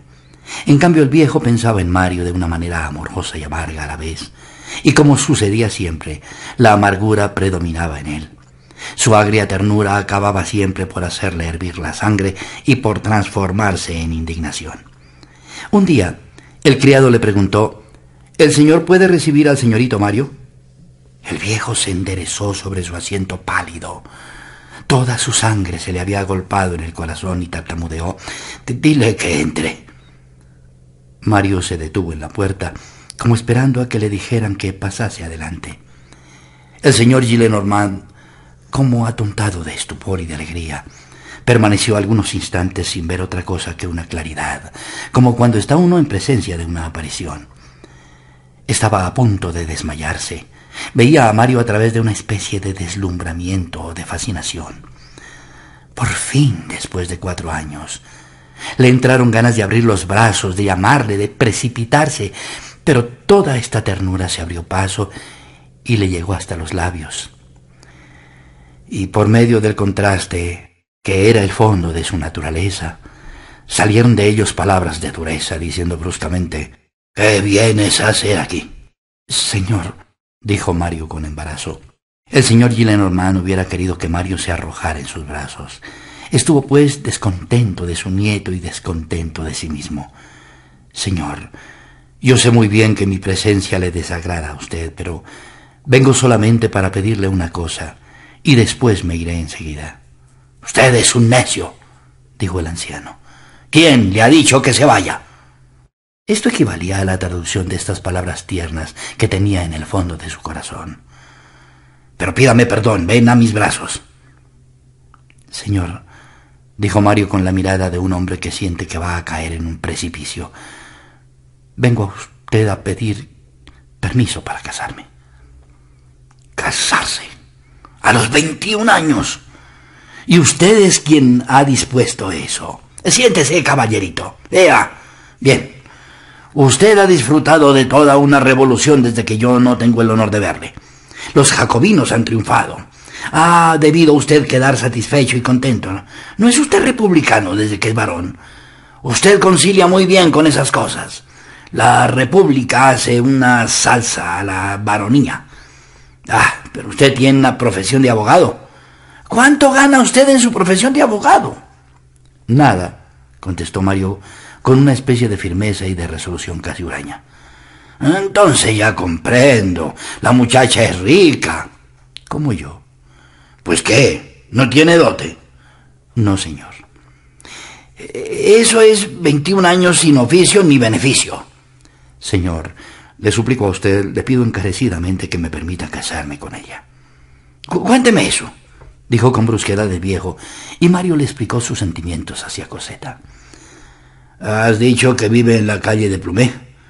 Vamos a ver qué es eso. ¿No hay un cuartel por allí cerca? Ah, sí, sí, eso es. Tu primo Teodulo me ha hablado de ella. Mm, no tienes mal gusto. Dicen que es bonita. Se ha dicho aquí entre nosotros, yo creo que ese bobalicón de lancero le ha hecho un poco la corte. No sé hasta dónde habrá llegado la cosa, en fin, eso no le hace nada. Además, a él no se le debe dar crédito, es un jactancioso, Mario. Yo encuentro eso muy bien, que un joven como tú esté enamorado. Me gustará verte prendado de unas faldas y aunque sea de veinte faldas. Nada mejor que eso. Así es como debes hacer la jugada. No se casa uno, pero eso no impide. ¿Me, ¿me comprendes? Mario quedó petrificado y en estado de no poder articular una sola palabra, hizo un signo negativo con la cabeza. Animal. Tómale por querida. Mario palideció. Nada había comprendido de cuanto acababa de decir su abuelo. Se levantó, recogió su sombrero que estaba en el suelo y se dirigió hacia la puerta con paso firme y seguro. Llegado allí se volvió, se inclinó profundamente ante su abuelo, levantó después la cabeza y dijo, Hace años ultrajó usted a mi padre. Hoy ultraja usted a mi mujer. Ya no le pido a usted nada, señor mío. Adiós. El señor Gillenormand, estupefacto, abrió la boca, tendió los brazos, intentó levantarse, y antes de que hubiera podido pronunciar una palabra, la puerta había vuelto a cerrarse y Mario había desaparecido. El anciano gritó desolado, Mario, Mario. Pero Mario no podía oírle. Aquel mismo día, a eso de las cuatro de la tarde, estaba Juan Valjean solo sentado en el declive de una de las escarpas más solitarias del campo de Marte. Estaba ahora tranquilo y se consideraba dichoso con respecto a Coseta. Sin embargo, sentía ciertas angustias y tribulaciones de distinta naturaleza. Paseándose un día por el bulevar había divisado a Telardier. Gracias a su traje que le cambiaba completamente, éste no le había reconocido, pero desde entonces le había vuelto a ver Juan Valjean varias veces, llegando ahora a adquirir la certidumbre de que Thenardier rondaba su barrio. Esto bastaba para decidirle a adoptar una gran resolución. Tal era el aviso o prevención que había dado a Coseta. Antes de ocho días quería haber marchado. En medio de estas preocupaciones notó, por una sombra que se proyectaba frente al sitio donde estaba sentado, que alguien acababa de detenerse en lo alto del talud detrás de él. Iba a volverse cuando cayó sobre sus rodillas un papel doblado, como si una mano lo hubiera arrojado por encima de su cabeza. Cogió el papel, lo desdobló y leyó esta frase escrita con lápiz en letras gruesas. Múdese usted de casa. Juan Valjean se levantó rápidamente, pero por más listo que anduvo, ya no halló a nadie sobre el talud. Al caer la noche a las nueve en punto, Mario se hallaba en la calle de Plumé como lo había prometido a Coseta. Mario había salido desconsoladísimo de casa del señor Gillenormand. Había entrado en ella con una esperanza muy débil y salió con una desesperación inmensa. Por lo demás, el primo Teodulo no había dejado ni aun la menor sombra en su espíritu, ni un mínimo vestigio. Cuando Mario se acercó a la verja, todo lo olvidó. Cuarenta y ocho horas hacía que no había visto a Coseta e iba a verla de nuevo. Todos los demás pensamientos se borraron en su mente y ya no experimentaba más que un gozo inaudito y profundo. Entonces Mario se precipitó en el jardín, pero Coseta no estaba en el sitio en que ella le esperaba habitualmente.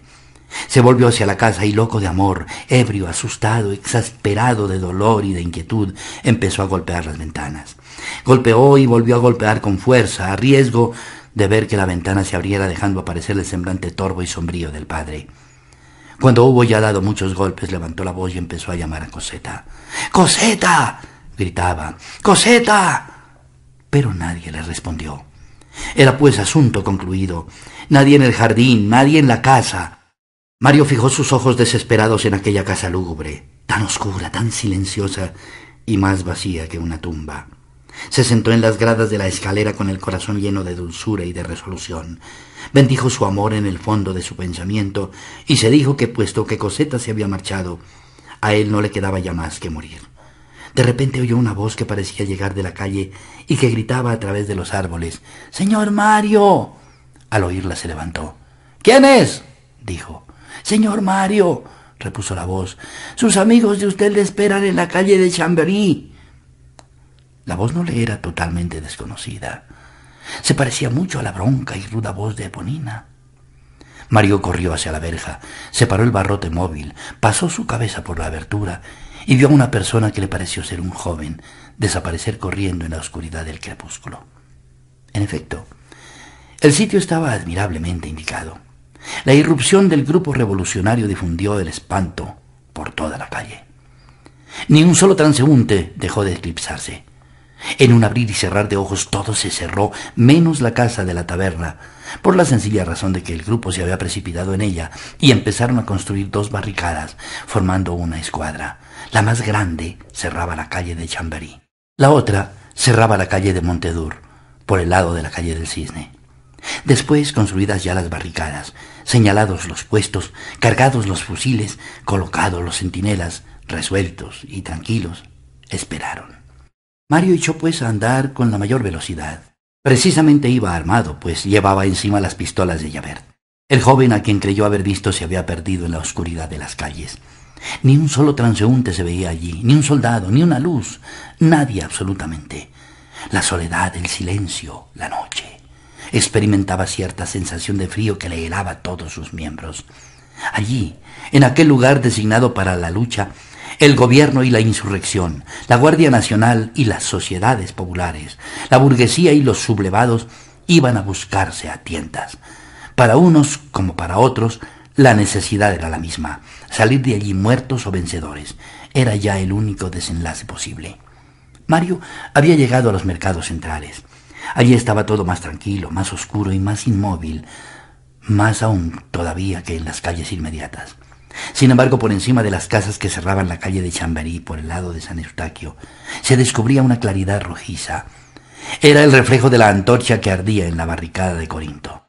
Mario se había dirigido hacia aquel resplandor, el cual le había conducido al marchego Poiré y vislumbraba la embocadura tenebrosa de la calle de los predicadores. Entró por fin en ella. El centinela de los insurrectos que vigilaba en el extremo opuesto no le vio. Se sentía muy cerca de lo que había ido a buscar e iba andando sobre las puntas de los pies. Pensó que ya le había llegado a él su día, que su hora había sonado al fin, que después de su padre iba él a su vez a ser valiente, intrépido, osado, a correr al encuentro de las balas, a ofrecer su pecho a las bayonetas, a derramar su sangre, a buscar al enemigo, a buscar la muerte.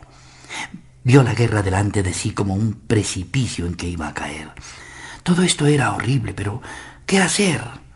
Vivir sin Coseta no le era posible. Puesto que ella había marchado era preciso que él muriese, y además era evidente que no le amaba ya, puesto que se había ido así, sin avisarle, sin una palabra y sin una carta. Mientras soñaba así, agobiado pero resuelto, vacilante, sin embargo, y en suma temblando en presencia de lo que iba a hacer, sus miradas erraban por el interior de la barricada. Varios insurrectos hablaban allí a media voz, sin hacer el menor movimiento, haciéndose sentir ese casi silencio que marca la última fase de la espera. Cuarenta y tres insurrectos, entre ellos amigos y conocidos de Mario, como Enjoyas, Conferré, Cofellac, Busset, Joly, Bayoret y Graboche se hallaban arrodillados en la barricada con las cabezas a nivel de la línea del parapeto, los cañones de los fusiles y de las carabinas asestados sobre las piedras, a modo de troneras, atentos, silenciosos, prontos a hacer fuego. De repente se escuchó una voz tanto más siniestra cuanto que no se veía a nadie, como si la misma oscuridad hablara gritando. ¿Quién vive? Al mismo tono se oyó el fragor de los fusiles que se ponían en movimiento. Enjolras contestó con un acento vibrante y altivo. ¡Revolución francesa! ¡Fuego! gritó la voz.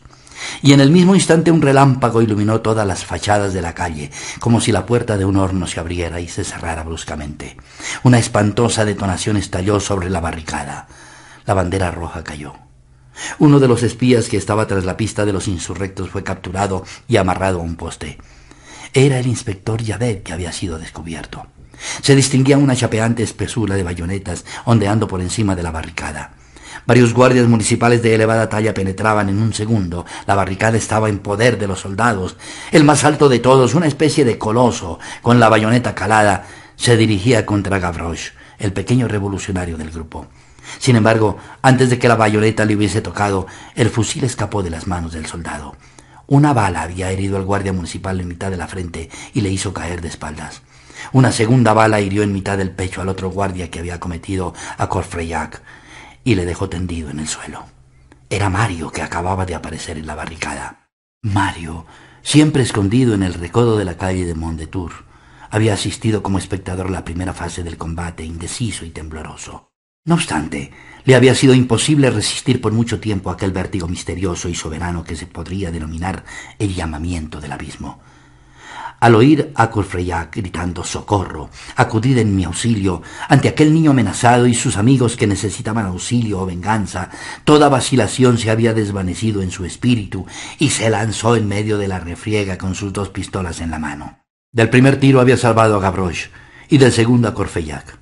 Habiendo arrojado al suelo sus pistolas descargadas, Mario no tenía ya armas, pero había visto el barril de pólvora en la sala baja junto a la puerta. Cuando estaba medio vuelto mirando hacia aquel lado, un soldado le apuntó con el fusil. En el momento en que el soldado apuntaba a Mario, una mano se colocó sobre la punta del cañón tapándole enteramente. Un individuo se había lanzado precipitadamente a realizar este acto. El tiro partió, atravesó la mano que cerraba el cañón del fusil y tal vez atravesó también al individuo que cayó en tierra pero la bala no tocó a Mario. Este, que en aquel momento entraba en la sala baja, apenas se dio cuenta de lo que pasaba. Había visto confusamente aquel cañón de fusil dirigido contra él, y aquella mano que lo había tapado, y también había oído el tiro en medio de una situación difícil de precisar. Sorprendidos pero no asustados, los insurrectos se habían rehecho. Por ambas partes se apuntaban recíprocamente a quemarropa, hallándose tan cerca unos de otros que podían hablar entre sí. Cuando llegó el momento en que iba a saltar la chispa, un oficial con gola y grandes charreteras levantó la espada y dijo Rendid las armas. ¡Fuego! gritó Enjoylas. Las dos detonaciones partieron al mismo tiempo y todo desapareció entre una nube de humo. Al disiparse se vieron en ambos lados los combatientes, aclarados pero siempre en sus mismos puestos, cargando de nuevo las armas en el mayor silencio. De pronto se dejó oír una voz de trueno que gritó Retiraos o hago volar la barricada.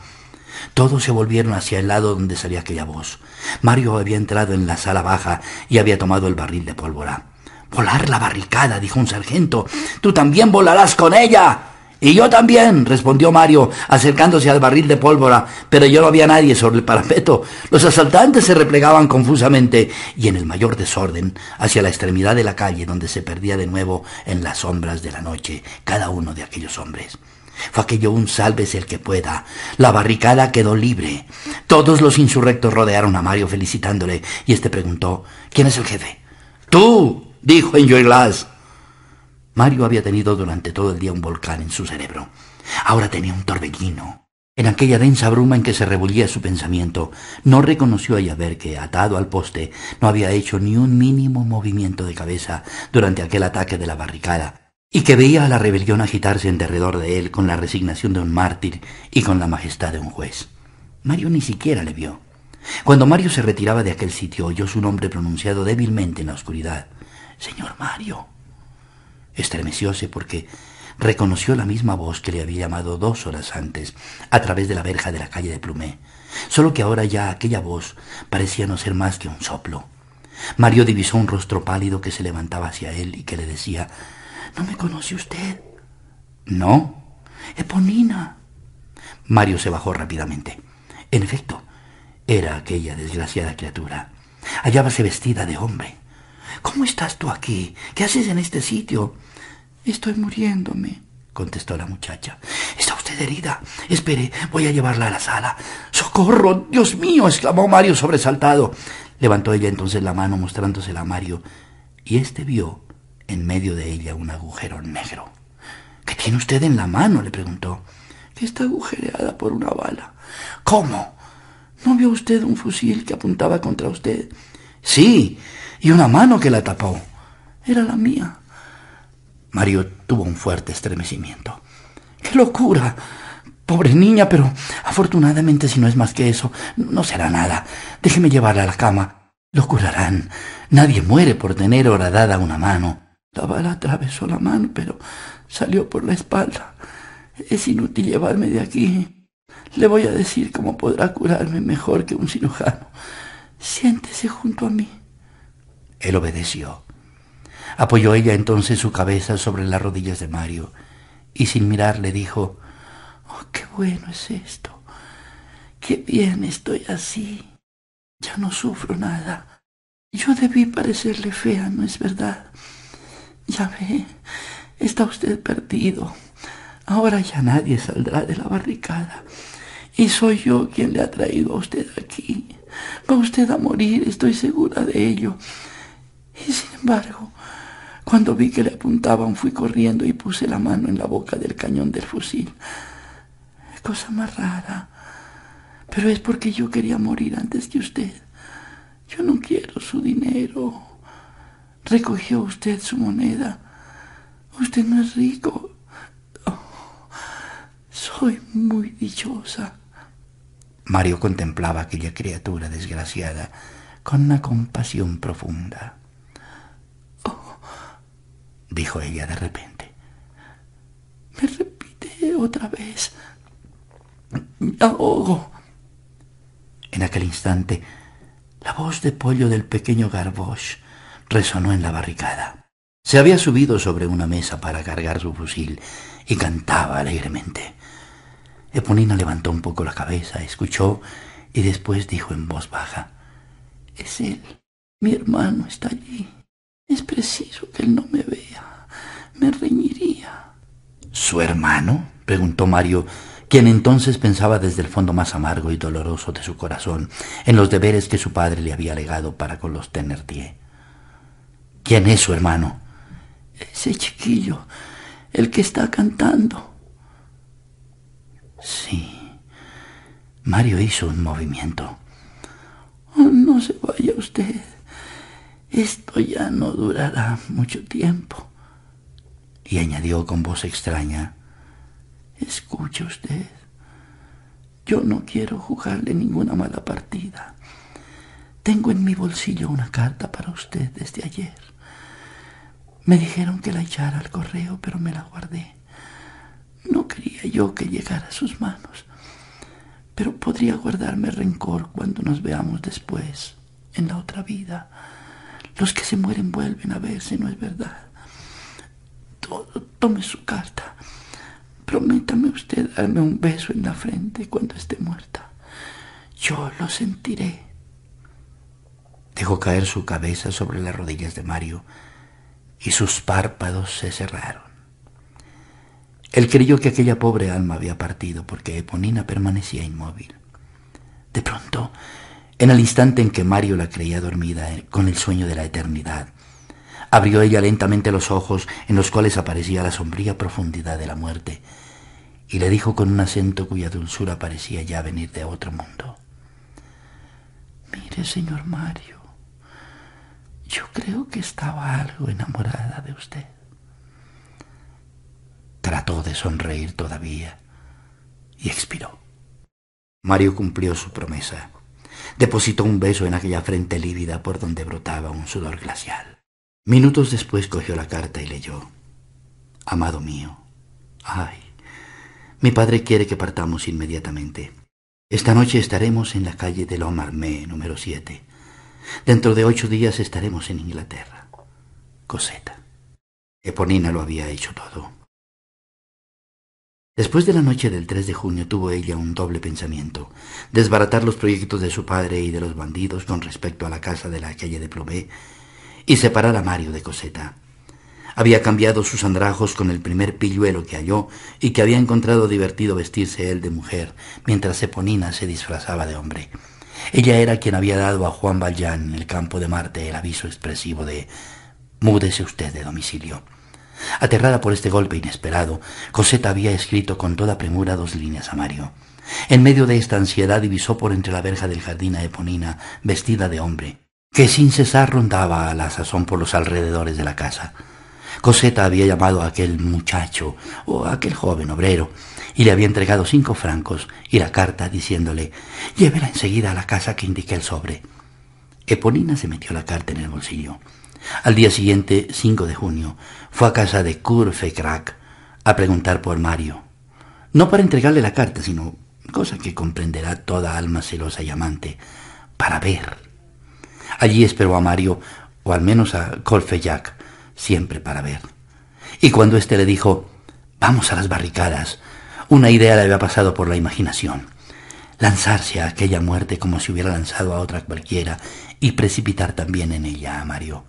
Siguió pues a Corfellac, se aseguró del sitio en el cual se levantaba la barricada, y habiendo interceptado la carta de que al anochecer se hallase él sin falta a la cita de todas las noches, habíase dirigido a la calle de Plumé y esperado a Mario, dándole en nombre de sus amigos aquel aviso o aquel llamamiento que creía ella produciría efecto inmediatamente, es decir, que le haría ir corriendo a la barricada.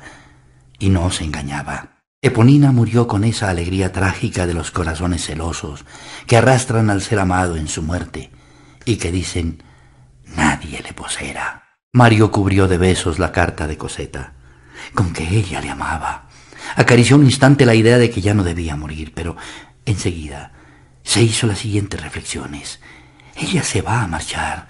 Su padre se la lleva a Inglaterra y mi abuelo se ha negado a consentir en el casamiento. Nada pues ha cambiado en nuestra fatalidad. Entonces pensó en que le quedaban dos deberes que cumplir. Informar a Coseta de su muerte, enviándole una despedida suprema, y librar de la inminente catástrofe que se preparaba a aquel pobre niño, hermano de Eponina e hijo de Thenardier. Llevaba consigo una cartera, la misma en que había él escrito tantos pensamientos de amor para Coseta. Arrancó de ella una hoja y escribió Nuestro casamiento es imposible. He pedido permiso a mi abuelo y me lo ha negado. Yo carezco de fortuna y tú también. He ido a tu casa corriendo y ya no te he encontrado. Bien sabes la palabra que te di y la cumplo. Voy a morir. Te amo. Cuando leas estas líneas, mi alma estará junto a ti y te sonreirá. Guardó la cartera en el bolsillo del frac y le encargó a Gavroche la misión de llevarla. Juan Valjean era en ese mismo instante víctima de una agitación tumultuosa. El abismo se había vuelto a abrir nuevamente para él. También él se estremeció como París a las puertas de una revolución oscura y formidable. La víspera de este mismo día, 5 de junio, Juan Valjean, acompañado de Coseta, había ido a instalarse en la calle de Lomarmé. De pronto, mientras paseaba a lo largo de la plaza, a paso lento, su mirada encontró una cosa extraña. Vio frente a él, en el espejo inclinado que estaba sobre el armario, y leyó claramente la carta que Coseta había escrito desesperadamente a Mario. Coseta había colocado su carpeta sobre la mesa del armario delante del espejo, y todo lo escrito había quedado impreso en aquel papel secante de la carpeta. El espejo reflejaba lo escrito, y Juan Valjean se sentía aterrado luego de leerla. Ella se va lejos de mí. El dolor que experimentó excedió los límites de lo posible. Desde su primera conjetura se fijó en Mario. No sabía cómo se llamaba, pero encontró al hombre enseguida. Percibió distintamente, allá en el fondo de la implacable evocación de su memoria, al desconocido rondador de Luxemburgo, aquel miserable corredor de aventuras y de amoríos, aquel villano, pues es una villanía ir a fingir amores a jovencitas que tienen consigo a su padre que las ama. Con estas reflexiones, Juan Valjean se encontró en la calle a cabo de cinco minutos. De repente levantó los ojos, sintió pasos en la calle, oyó que alguien andaba cerca de él, se puso a mirar con atención y a la luz del farol distinguió una figura lívida, joven, radiante de contento. Era Gavroche, que acababa de llegar a la calle de Lomarmé. Chicuelo, le dijo, ¿qué tienes? Yo no tengo más que hambre, respondió Gavroche con llaneza y con tisura. Y añadió, ¿el chicuelo será usted? Juan Valjean echó mano al bolsillo y sacó una moneda de cinco francos. Ciudadano, yo prefiero romper los faroles. Recoja su moneda y guárdese su feroz alibaña. A mí no se me corrompe. ¿Tienes madre? preguntó Juan Valjean. Tal vez más que usted. Pues bien, repuso, guarda ese dinero para tu madre. Garboy se sintió casi conmovido. ¿De veras? dijo. ¿No me da usted esto para impedirme que rompa los faroles? Rompe todo cuanto quieras. Ah, usted es un hombre de bien, dijo Garboche, y se guardó en su bolsillo la moneda de cinco francos. Aumentando su confianza, añadió, ¿Vive usted en esta calle? Sí. ¿Por qué me lo preguntas? ¿Podría usted indicarme el número siete? Una idea atravesó en aquel instante por la mente de Juan Valjean. ¿Eres tú quizá quien me trae la carta que estoy esperando? ¿Usted? dijo el niño. Pero si usted no es una mujer. La carta es para la señorita Coseta, ¿no es verdad? Coseta, refunfuñó Garboy. Sí, creo que ese es el nombre. Pues bien, repuso Juan Valjean, yo soy quien debe entregarle esa carta, dámela. En tal caso usted debe saber que yo soy enviado de la barricada. Sin duda. Garbois metió la mano en aquel bolsillo y sacó un papel doblado. Enseguida hizo el saludo militar y entregó la carta a Juan Valjean. Y dése usted prisa, señor Coseto, porque la señorita Coseta está esperando. Garbos se mostró satisfecho de haber encontrado él solo estos nombres. Esta carta viene de la barricada de la calle de Chamberí, y yo me vuelvo allí. Buenas noches, ciudadano. Juan Valjean volvió a entrar en la casa con la carta de Mario, y no vio más que estas palabras. Yo muero. Cuando leas esto, mi alma se hallará junto a ti. Lanzó un terrible grito de alegría interior. Así pues, era asunto concluido. El desenlace llegaba más pronto de lo que se hubiera podido esperar. Él no tenía más que guardarse aquella carta en el bolsillo, y Coseta no sabría nunca lo que había sido de aquel hombre. hay más que dejar que las cosas se realicen por su curso natural. Ese hombre no puede escapar. Si no ha muerto aún, está seguro que va a morir. Ah, qué dicha, pensó. Una hora después, Juan Valjean salía con su uniforme completo de Guardia Nacional y armado. Se dirigió hacia el barrio de los mercados centrales. Cerca de aquel lugar, Enjolras había ido a hacer un reconocimiento. Había salido por la callejuela de Mondetour, serpenteando a lo largo de las casas. Los insurrectos, preciso es decirlo, estaban llenos de esperanzas. La manera como habían rechazado el ataque de la noche anterior les hacía casi despreciar anticipadamente el ataque de la mañana. Le esperaban confiados y sonriendo. Para ellos no era más dudoso su triunfo que la justicia de su causa. Por otra parte iba a llegarles evidentemente ayuda y contaban con ella. Cuando por fin reapareció en Joylas, de regreso de su expedición, su rostro era sombrío. Y dijo, todo el ejército de París está sobre las armas. Una tercera parte de ese ejército pasará sobre la barricada donde os encontráis. Además, la Guardia Nacional, por lo que hace al pueblo, ayer ha mostrado alguna efervescencia, pero esta mañana no se mueve ya. No confiemos en nada, no esperemos nada, ni un arrabal, ni un regimiento. Estáis completamente abandonados.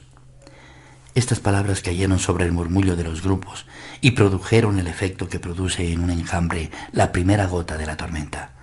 Desde el fondo más oscuro de los grupos salió una voz que gritó a Enjoylas. Está bien.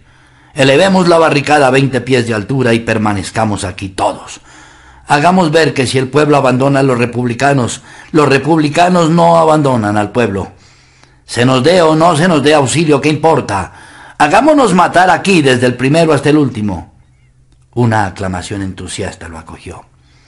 Ciudadanos, exclamó Enjoylas, notándose en su voz una vibración irritada. La República no es bastante rica en hombres para hacer gastos inútiles. Si para algunos de vosotros el deber consiste en marcharse, es justo cumplir este deber como otro cualquiera. Enjolras mostró cuatro uniformes que llevaba en sus manos. Con este uniforme es fácil marcharse en las filas enemigas y escapar. Aquí tenemos ya para cuatro. Mario se paró y dijo, Enjolras, tienes razón. Nada de sacrificios inútiles. Yo me asocio a su idea y es menester darnos prisa para ponerla en práctica. Hay entre vosotros quienes tienen familias, madres, hermanas, niños. Que salgan todos ellos de las filas. Nadie se movió. Los hombres casados, los que amparan y sostienen una familia, salgan fuera de las filas, repitió Mario. Conmovidos por la orden de Mario, aquellos hombres heroicos empezaron a delatarse unos a otros. Designad vosotros mismos a los que deben marcharse, dijo Enjolras y obedecieron enseguida. Al cabo de algunos minutos, cinco de ellos fueron unánimemente designados y salían de las filas. Son cinco, exclamó Mario. Solo hay cuatro uniformes. En ese instante cayó un quinto uniforme como llovido del cielo sobre los otros cuatro. El quinto hombre se había salvado. Mario alzó los ojos y reconoció al señor Fauchelevent, quien gracias a su uniforme de Guardia Nacional había pasado muy fácilmente. El centinela que habían colocado los insurrectos en la calle de Mondetour no tenía necesidad de dar la señal de alarma por un guardia nacional solo, y le había dejado penetrar en la callejuela. Mario dijo con voz grave, Yo le conozco. Esta afirmación satisfacía a todos.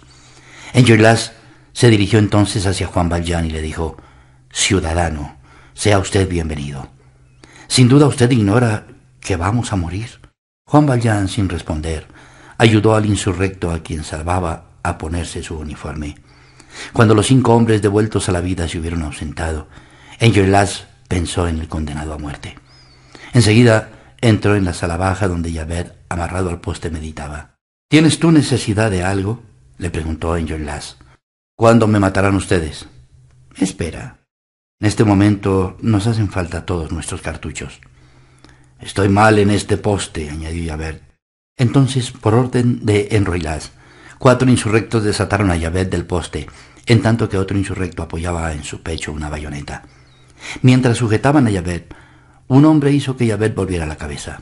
Levantó los ojos y reconoció a Juan Valjean. Ni siquiera se inmutó al verle. Bajó la vista con arrogancia y se limitó a decir, no tiene nada de particular. Entretanto, la barricada se hallaba más fuerte que cuando sufrió el primer ataque. Desde que se marcharon los cinco defensores, la habían elevado más todavía. De pronto apareció una pieza de artillería. Los mismos artilleros empujaban el cañón que estaba en la posición de tiro. Veíase humear la mecha encendida. ¡Fuego! gritó Enjoylas. Toda barricada hizo fuego. La detonación fue espantosa. Una densa nube de humo cubrió y envolvió la pieza y los hombres, ocultándolos completamente. Al mismo tiempo que la bala de cañón descargó sobre las barricadas, Garbot se precipitó en el interior de ella. Todos en la barricada lo rodearon. ¿Qué vienes a hacer aquí? le preguntó Mario temblando. Toma, dijo el muchacho. ¿Y usted? ¿Quién te ha dicho que volvieras aquí? ¿Has entregado al menos mi carta a la persona a quien iba dirigida? Gavroche mintió diciendo, Ciudadano, entregué la carta al portero. La dama estaba durmiendo. Al despertarse se la entregarán. Al enviar aquella carta, Mario tenía dos objetos. Despedirse de Cosetta y salvar a Gavroche. Tuvo pues que contentarse con la mitad de lo que se proponía. Entre tanto, Gavroche hallaba ya en el otro extremo de la barricada gritando, ¡Mi fusil! El fuego de los asaltantes continuaba. La fusilería y la metralla alternaban, aunque sin causar grandes estragos. De un momento a otro, los insurrectos descubrieron un casco que brillaba a los rayos del sol sobre un tejado inmediato. Era un bombero que estaba parapetado detrás de una chimenea. Parecía estar allí de centinela, dominando con su vista el interior de la barricada. Es un centinela molesto, dijo Enjoylas. Juan Valjean, sin decir una palabra, apuntó al bombero, y al cabo de un segundo el casco herido de un balazo caía estrepitosamente a la calle. El soldado, que solo sufrió un buen susto, se apresuró a alejarse de aquel sitio. Ocupó el puesto otro observador. Este era un oficial. Juan Valjean, que había vuelto a cargar su fusil, apuntó al recién llegado y envió el casco del oficial a acompañar en la calle al del soldado. El oficial no insistió y se retiró a toda prisa. Esta vez comprendieron sin duda el aviso. Nadie volvió a aparecer sobre el tejado, renunciando ya a observar desde allí la barricada. ¿Por qué no habéis matado a esos hombres? preguntó uno de los insurrectos a Juan Valjean. Este no contestó a la pregunta. Por su parte, Jacques vio un bulto por la parte de afuera de la barricada que era blanco de las balas enemigas. Garbauche había cogido en la taberna un cesto de los que sirven para transportar botellas, y saliendo por la cortadura estaba tranquilamente dedicado a vaciar en su cesto las cartucheras llenas de cartuchos de los guardias nacionales muertos en el declive del reducto. ¿Qué estás haciendo allí? dijo Courfeyrac. Ciudadano, estoy llenando mi cesto. ¿Pero no ves la metralla? ¿Qué? ¿Que llueve? ¿Y qué más? Corfeyac gritó. ¡Entra corriendo! Y en el momento en que Garbós desembarazaba sus cartuchos a un sargento que yacía en tierra junto a un guardia cantón, una bala dio en el cadáver. ¡Diantre! dijo Garbosch. He aquí que ahora me matan a mis muertos. Y se puso a cantar. Así continuó durante algún tiempo. Era un espectáculo espantoso y encantador a la vez. Garbosch, fusilado, se burlaba de la fusilería y tenía aspecto de divertirse mucho con este pasatiempo. Apuntábanle sin cesar y siempre fallaba en el tiro. No obstante, una bala mejor dirigida o más traidora que las otras acabó por herir a aquel niño. Toda la barricada lanzó un grito. Una segunda bala del mismo tirador le cortó el aliento. Esta vez cayó de bruces contra el suelo y no volvió a moverse. Aquella gran almita acababa de volar. Mario se había lanzado fuera de la barricada seguido de Confer, pero ya era tarde. Garbosch había muerto. Juan Valjean, siempre mudo, miraba constantemente a la pared que estaba frente a él. Enjolras se volvió hacia Yabel y le dijo, No te he olvidado. Y colocando una pistola sobre la mesa añadió, El último que salga de aquí levantará la tapa de los sesos a ese soplón. Al mismo tiempo apareció Juan Valjean. Hasta entonces había estado confundido con el grupo de insurrectos. Salió de él y dijo a Enjolras, ¿Usted es el jefe? Sí. Me ha dado usted las gracias hace poco. En nombre de la República. La barricada tiene dos salvadores. Mario Pontmercy y usted. ¿Cree usted que merezco una recompensa? Ciertamente. Pues bien, yo pido una. Levantar yo mismo la tapa de los sesos a este hombre. Javert levantó la cabeza. Vio a Juan Valjean, hizo un movimiento imperceptible y dijo, es justo. Hágase usted cargo del espía, concluyó Enjolras. En efecto, Juan Valjean tomó posesión de Javert sentándose en la extremidad de la mesa. Cogió la pistola y un débil ruido anunció que acababa de armarla. Casi al mismo instante oyóse el toque de una corneta. ¡Alerta! gritó Mario desde lo alto de la barricada. Javert se echó a reír, con esa risa sin ruido que le era propia, mirando fijamente a los insurrectos, y les dijo pues lo que es vosotros no lo pasaréis mejor que yo. Todo el mundo a la calle, gritó Enjoylas. Los insurrectos se lanzaron en tumulto y al tiempo de salir recibieron en la espalda este saludo de Javert. ¡Hasta luego! En cuanto Juan Valjean estuvo solo con Javert, desató la cuerda que sujetaba al prisionero por mitad del cuerpo y cuyo nudo estaba bajo la mesa. Y enseguida le hizo seña para que se levantara. Javert obedeció al punto, con esa indefinible sonrisa en la cual se condensa la supremacía de la autoridad encadenada. Juan Valjean llevaba una pistola empuñada y tomó a Javert por la cuerda. Así atravesaron el trapecio interior de la barricada. Los insurrectos, enteramente abstraídos en la inminencia del ataque, tenían la espalda vuelta. Solo Mario, que estaba situado en la extremidad lateral izquierda de la barricada, les vio pasar. Al cabo de un momento nadie les veía ya. La esquina que formaban las casas les ocultaban enteramente a los insurrectos. Juan Valjean sacó de su bolsillo una navaja y la abrió. Un churí, exclamó Javert. Haces bien, eso te cuadra más. Juan Valjean cortó con la navaja la cuerda que Javert llevaba al cuello. Después cortó las que le ligaban las muñecas y le dijo, Está usted libre. Javert no era hombre fácil de admirarse por nada. Sin embargo, dueño de sí mismo, como se veía de repente, no pudo sustraer su espíritu a cierta emoción. Se quedó pues con la boca abierta e inmóvil. Juan Valjean prosiguió. Yo no creo salir de aquí. No obstante, si por casualidad saliera, vivo bajo el nombre de Fauchelevent en la calle de Lomarmé, número 7. Yahvé experimentó una especie de fruncimiento de tigre que le hizo entreabrir una extremidad de la boca y murmuró Ten cuidado. Marchaos, dijo Juan Valjean. Luego que Javert hubo desaparecido, Juan Valjean disparó al aire. Después se volvió a la barricada y dijo, ya está hecho. Una sombra glacial atravesó el corazón de Mario. La agonía en la barricada iba a empezar. El tambor llamó a la carga y al ataque, y este fue como un huracán. La noche antes, en la oscuridad, los sitiadores se habían aproximado a la barricada silenciosamente como serpientes. Los insurrectos hicieron fuego con la mayor energía. La barrera así atacada ofreció el espectáculo de una melena de relámpagos y la calle quedó alfombrada de cadáveres. En uno de los extremos de la barricada estaba Enjoylas y en el otro Mario, que combatía a cuerpo descubierto, haciéndose blanco de los tiros enemigos, pues más de la mitad de su cuerpo sobresalía por encima del reducto. Sucedíanse los asaltos y el horror aumentaba. Cuando no quedaron más jefes vivos que Enjoilás y Mario en los dos extremos de la barricada, se dio al fin. El grupo de insurrectos que defendía el centro se vio obligado a retroceder en la mayor confusión. Hallábanse arrinconados contra la alta casa de seis pisos que formaba el fondo del reducto. Aquella casa podía ser su salvación porque estaba fortificada, atrincherada y como murada de arriba abajo. Sin embargo, Mario había quedado fuera y una bala acababa de romperle la clavícula. Se sintió desvanecer y cayó. El estrépito era indecible. Una espesa y ardiente humareda encerrada hacía casi noche aquel combate. Cuando el humo se despejó, no había en la casa sino un solo hombre de pie, Enjoilás. Sin cartucho, sin espada, solo le quedaba en la mano el cañón de su carabina, cuya culata había hecho pedazos en la cabeza de los que entraban. Entonces se oyó un grito. ¡Es el jefe! Él es quien mató al artillero. Puesto que él mismo se ha colocado allí, está bien. Que permanezca en ese sitio y ahí le fusilaremos. ¡Fusiladme! dijo Enjoilás. Enseguida gritó un sargento. ¡Apunten! Estalló la detonación y atravesado por ocho balas, Enjoilás quedó adosado contra la pared, como si los proyectiles le hubiesen clavado allí. Solamente inclinó la cabeza.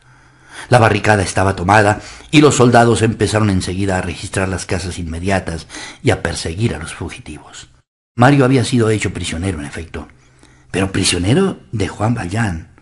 El torbellino del ataque se hallaba en aquel momento tan violentamente concentrado sobre Enjoilás y la puerta de la taberna que nadie vio a Juan Valjean sosteniendo en sus brazos a Mario desmayado, atravesar el campo desempedrado de la barricada y desaparecer detrás de la esquina de la casa de Corinto.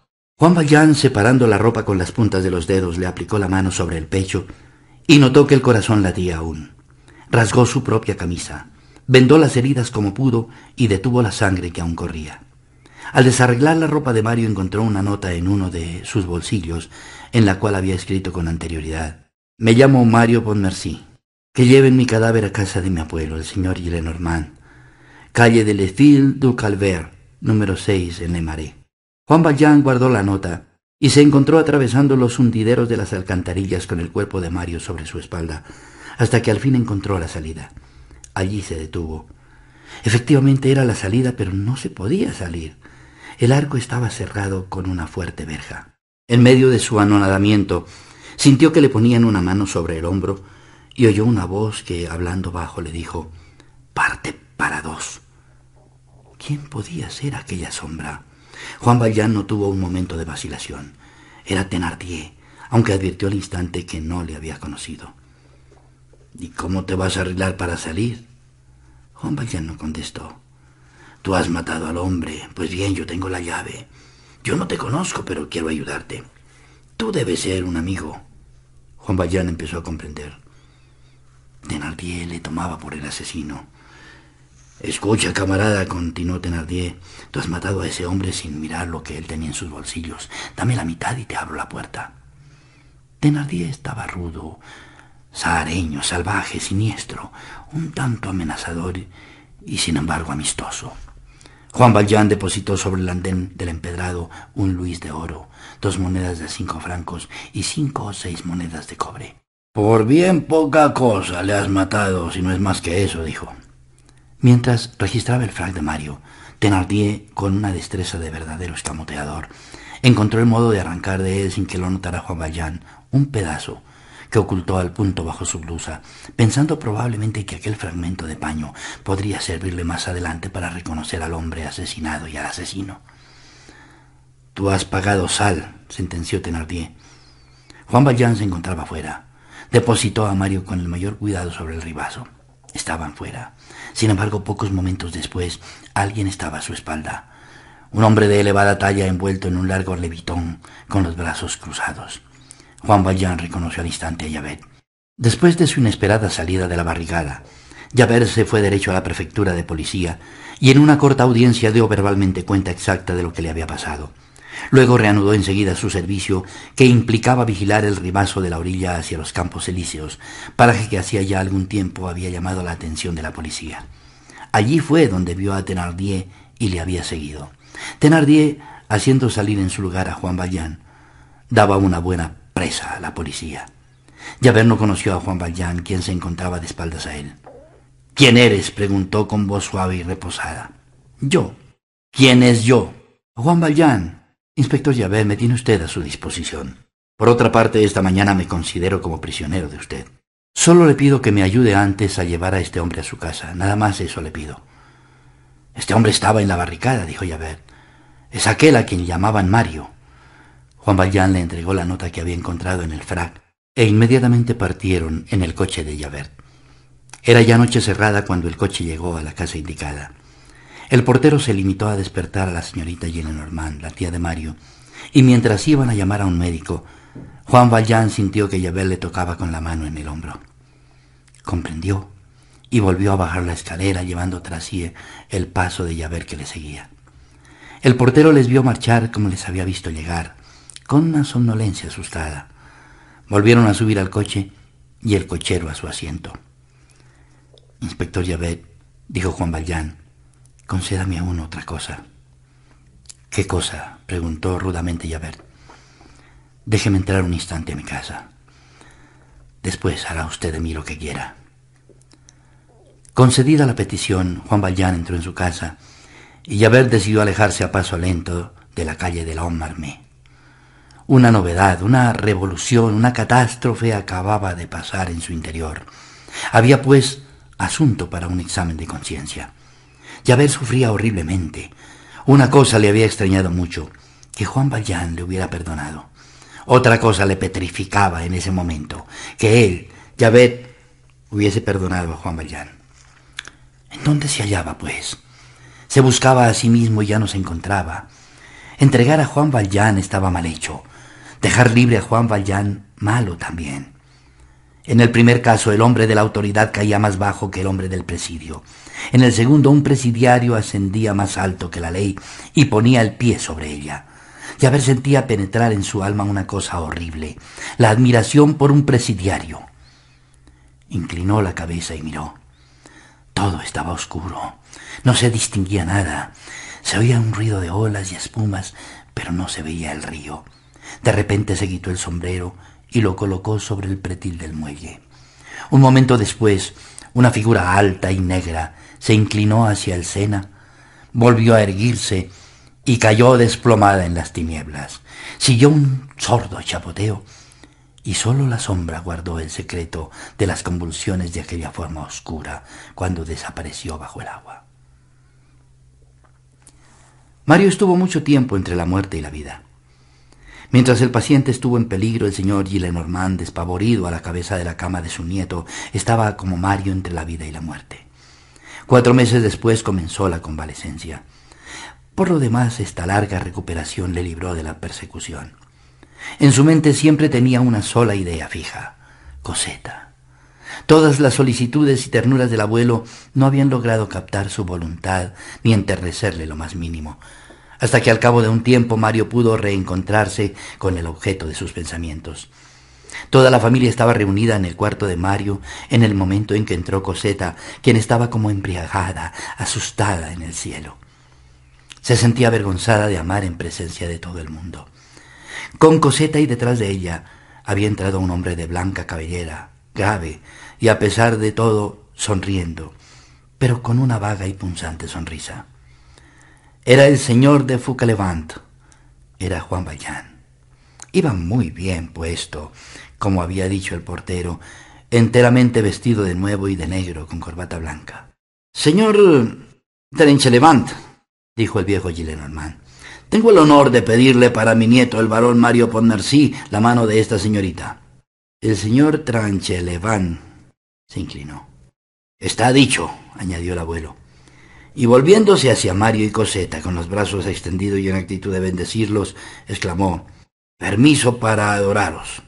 A este tiempo se oyó una voz grave y tranquila que decía La señorita Eufrasia Folkelevant tiene seiscientos mil francos. He ahí un buen libro, dijo el señor Gillenormand.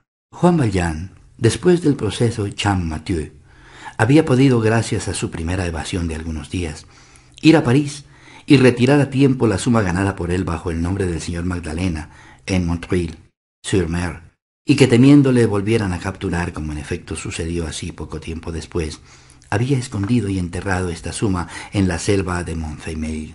Por lo demás, Juan Valjean sabía que ya estaba libre de Javert. Había referido en presencia suya, y él había comprobado el hecho en el periódico que lo publicó, que un inspector de policía llamado Javert había sido encontrado ahogado bajo un barco de lavanderas entre el puente de cambio y el puente nuevo. Todo parecía indicar que en un acceso de enajenación mental se había suicidado. Coseta y Mario habían pasado bruscamente del sepulcro al paraíso. Coseta, en sus glorias, estaba entusiasmada con el tío Gillenormand, quien la colmaba de presentes y de madrigales. Los novios se veían diariamente. Mario y el señor Fauchelevent se veían, pero no se hablaban. Diría así que era una cosa convenida. Toda jovencita necesita un Rodrigón. Coseta no hubiera podido ir sin el señor Fauchelevent. Para Mario este señor era la condición de Coseta y él la aceptaba. Sin embargo, por más grande que fuese su encantamiento, no borró en el espíritu de Mario otras preocupaciones. Thenardier y el desconocido que le llevó a casa de su abuelo, Gillenormand. Mario se proponía buscar hasta encontrar a estos dos hombres, y gracias a sus investigaciones logró enterarse de que la Thenardier había muerto en la cárcel durante la instrucción del proceso. Thenardier y su hija Selma, los dos únicos que quedaban de aquel lamentable grupo, habían vuelto a hundirse en la sombra. Thenardier, jefe e instigador, había sido condenado a muerte también en rebeldía. En cuanto al otro, al hombre ignorado que había salvado a Mario, era todavía una incógnita. La noche del 17 de febrero de 1833 fue una noche bendita porque fue la boda de Mario y Coseta quienes lucían una felicidad infinita. Al final, todos pasaron una velada alegre, viva y amable. El soberano buen humor del abuelo dio entonación a toda la fiesta, procurando cada uno acomodarse a aquella cordialidad casi centenaria. Bailaron un poco, rieron mucho. En suma, fue aquella una boda sencilla, festiva e infantil, y a la vez triste y nostálgica para Juan Valjean. Los días siguientes a los de la boda son siempre solitarios, pero uno de esos días se oyó un ligero golpecito en la puerta. El criado abrió al señor Fauchelevent y después de unos momentos apareció Mario. Es usted, padre, exclamó al ver a Juan Valjean. Cuánto me alegro de verle. Caballero, dijo Juan Valjean, tengo que decirle a usted una cosa. Yo soy un antiguo presidiario. Yo he estado diecinueve años en presidio, por robo, por reincidente. A esta hora soy un desertor del presidio. Mario sufrió un estremecimiento de un siniestro resplandor interior. Una idea que le hizo temblar le atravesó el cerebro. Vislumbró el porvenir para él mismo, un destino horrible. Dígaselo usted todo. Usted es el padre de Coseta, exclamó confundido Mario. Mi nombre no es Fauchelevent, me llamo Juan Valjean. Nada soy de Coseta. Y le contó generalidades de la historia de Coseta. Hoy Coseta deja mi vida. Nuestros dos caminos se separan. En adelante ya no puedo yo hacer nada por ella. Pero en fin, repuso Mario, ¿por qué me dice usted todo esto? Podía usted haber guardado el secreto, nadie le delatará a usted ni le acusará. Es por honradez, contestó Juan Valjean. No basta ser dichoso, es preciso estar contento y satisfecho de sí mismo, de su propia conciencia. Ahora me siento aliviado. Casi está ya todo terminado. Me queda una última cosa. Ahora que ya lo sabe todo, ¿cree, caballero, usted que es el amo, que no debo ver más a Coseta? Creo que eso sería lo más acertado, respondió fríamente Mario. Escuche, señor, dijo Juan Valjean. Si me lo permite, vendré a verla. Le aseguro a usted que lo deseo muchísimo. Venga usted todas las noches, dijo Mario, y Coseta le esperará. Cuán bueno es usted, señor le dijo Juan Valjean. Mario saludó al anciano. La felicidad acompañó hasta la puerta a la desesperación y aquellos dos hombres se separaron. Mario estaba trastornado. Quienquiera que fuese ese Juan Valjean, era incontestablemente una conciencia que despertaba, se decía Mario. Los asuntos personales de Juan Valjean no le importaban, era un pasajero. Él mismo lo había dicho. Pues bien, ahora le tocaba pasar. Así transcurrieron algunas semanas en que Juan Valjean iba a su pesar. Se mostraba cada vez más frío con Coseta. El cuidado que él mismo había puesto para separarla de él le salía bien. Poco a poco estaba ella más alegre y menos tierna. Sin embargo, le quería siempre mucho y él lo sentía. A partir de estos últimos resplandores la extinción fue completa. No más familiaridad, no más saludo acompañado de beso, ni esta palabra tan profundamente dulce. Padre. Mario había sustraído lentamente a Coseta de la influencia moral de Juan Valjean, y Coseta se había dejado hacer insensiblemente. Una tarde Juan Valjean, apoyándose con trabajo en el codo, se irguió y se tomó la mano. No se encontró el pulso. Su respiración era corta y se detenía por instantes. Reconoció que estaba más débil de lo que se había sentido nunca. Tenía ochenta años. Antes del casamiento de Mario apenas le habían dado cincuenta. Lo que tenía en la frente no eran ya las arrugas de la edad, sino la marca misteriosa de la muerte. Oh, exclamó en el interior de su espíritu, es asunto concluido. Ya no volveré a verla. No, un minuto, un instante oír su voz, mirarla a ella, el ángel, y después morir. Morir no es nada. Lo que es horrible es morir sin verla. Y en este momento llamaron a la puerta.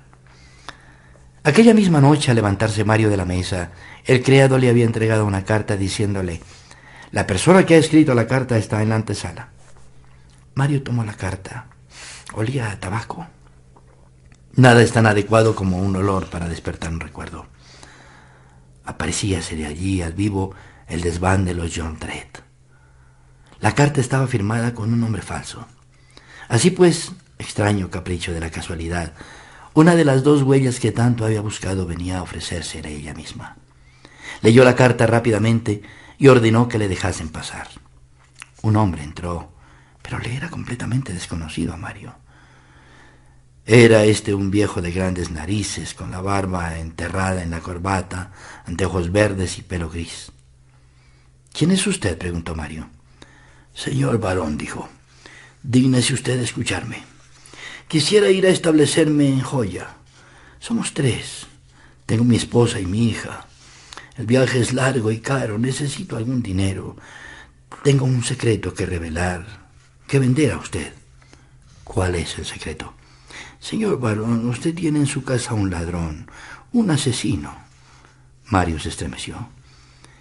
Este hombre se ha deslizado en su confianza y casi en su propia familia, bajo un nombre supuesto. Se llama Juan Valjean y es un presidiario. Lo sé. Esta respuesta sorprendió al visitante. En todo caso, usted deberá observar que estoy bien informado. Ahora, lo que tengo que revelarle no es conocido más que por mí solamente. Es un secreto extraordinario y está en venta por veinte mil francos. Yo sé ese secreto lo mismo que los otros. Señor varón, ponga usted diez mil francos y hablaré enseguida.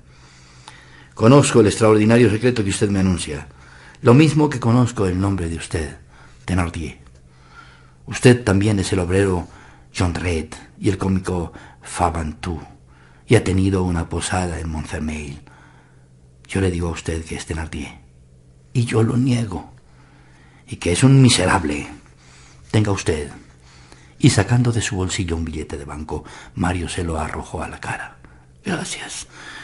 Perdone usted, quinientos francos. Yo soy Thenardier. Había ido a dar una sorpresa y era él quien la recibía. Por primera vez en su vida veía a aquel varón Pontmercy, y a pesar de su disfraz aquel varón le reconocía y a fondo. Mario había quedado pensativo. Existía otro asunto que debía aclarar, el origen de la fortuna de Coseta. La ocasión parecía presentarse. Tal vez supiera algo de eso Thenardier. Thenardier, le he dicho a usted su nombre, por lo que se refiere a su secreto. ¿Quiere usted que se lo diga igualmente? Y Mario empezó a especular.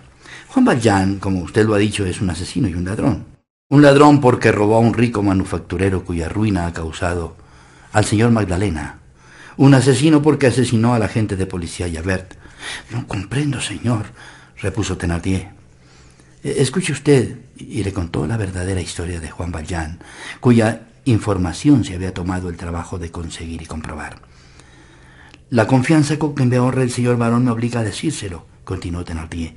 El señor Magdalena es el mismo Juan Valjean, y Juan Valjean no ha matado a Yavet. El inspector se suicidó. Sin embargo, Juan Valjean sí es un ladrón y un asesino. Señor varón, hará cosa de un año, el día de insurrección, estaba un hombre en la cloaca de París, en el paraje en que la alcantarilla va a desembocar en el Sena. Aquel hombre, obligado a ocultarse por motivos completamente ajenos a la política, había elegido la alcantarilla por domicilio y poseía una llave. El hombre oyó ruido en la alcantarilla y se dio cuenta de que alguien andaba en la sombra. La verja de salida no estaba lejos. El hombre que iba así andando encorvado era un antiguo presidiario y lo que conducía a cuestas era un cadáver. Flagrante delito de asesinato si lo hay. Por lo que hace el robo se comprende desde luego, no se mata a un hombre de balde. Aquel presidiario iba a echar aquel cadáver al río, pero prefirió atravesar la hondonada con su carga y sus esfuerzos debieron de ser inauditos. Es imposible arriesgar más completamente su propia vida. Yo no comprendo cómo pudo salir vivo. El domiciliado halló la manera de romper y arrancar por detrás sin que lo notara el asesino un pedazo del frac del hombre asesinado. Pieza de convicción, como usted comprende, pero se vio obligado a darle la llave para salir. Ahora ya comprende usted todo. El que conducía el cadáver es Juan Valjean. El que tenía la llave es el que tiene el honor de hablar a usted. Y el pedazo de frac.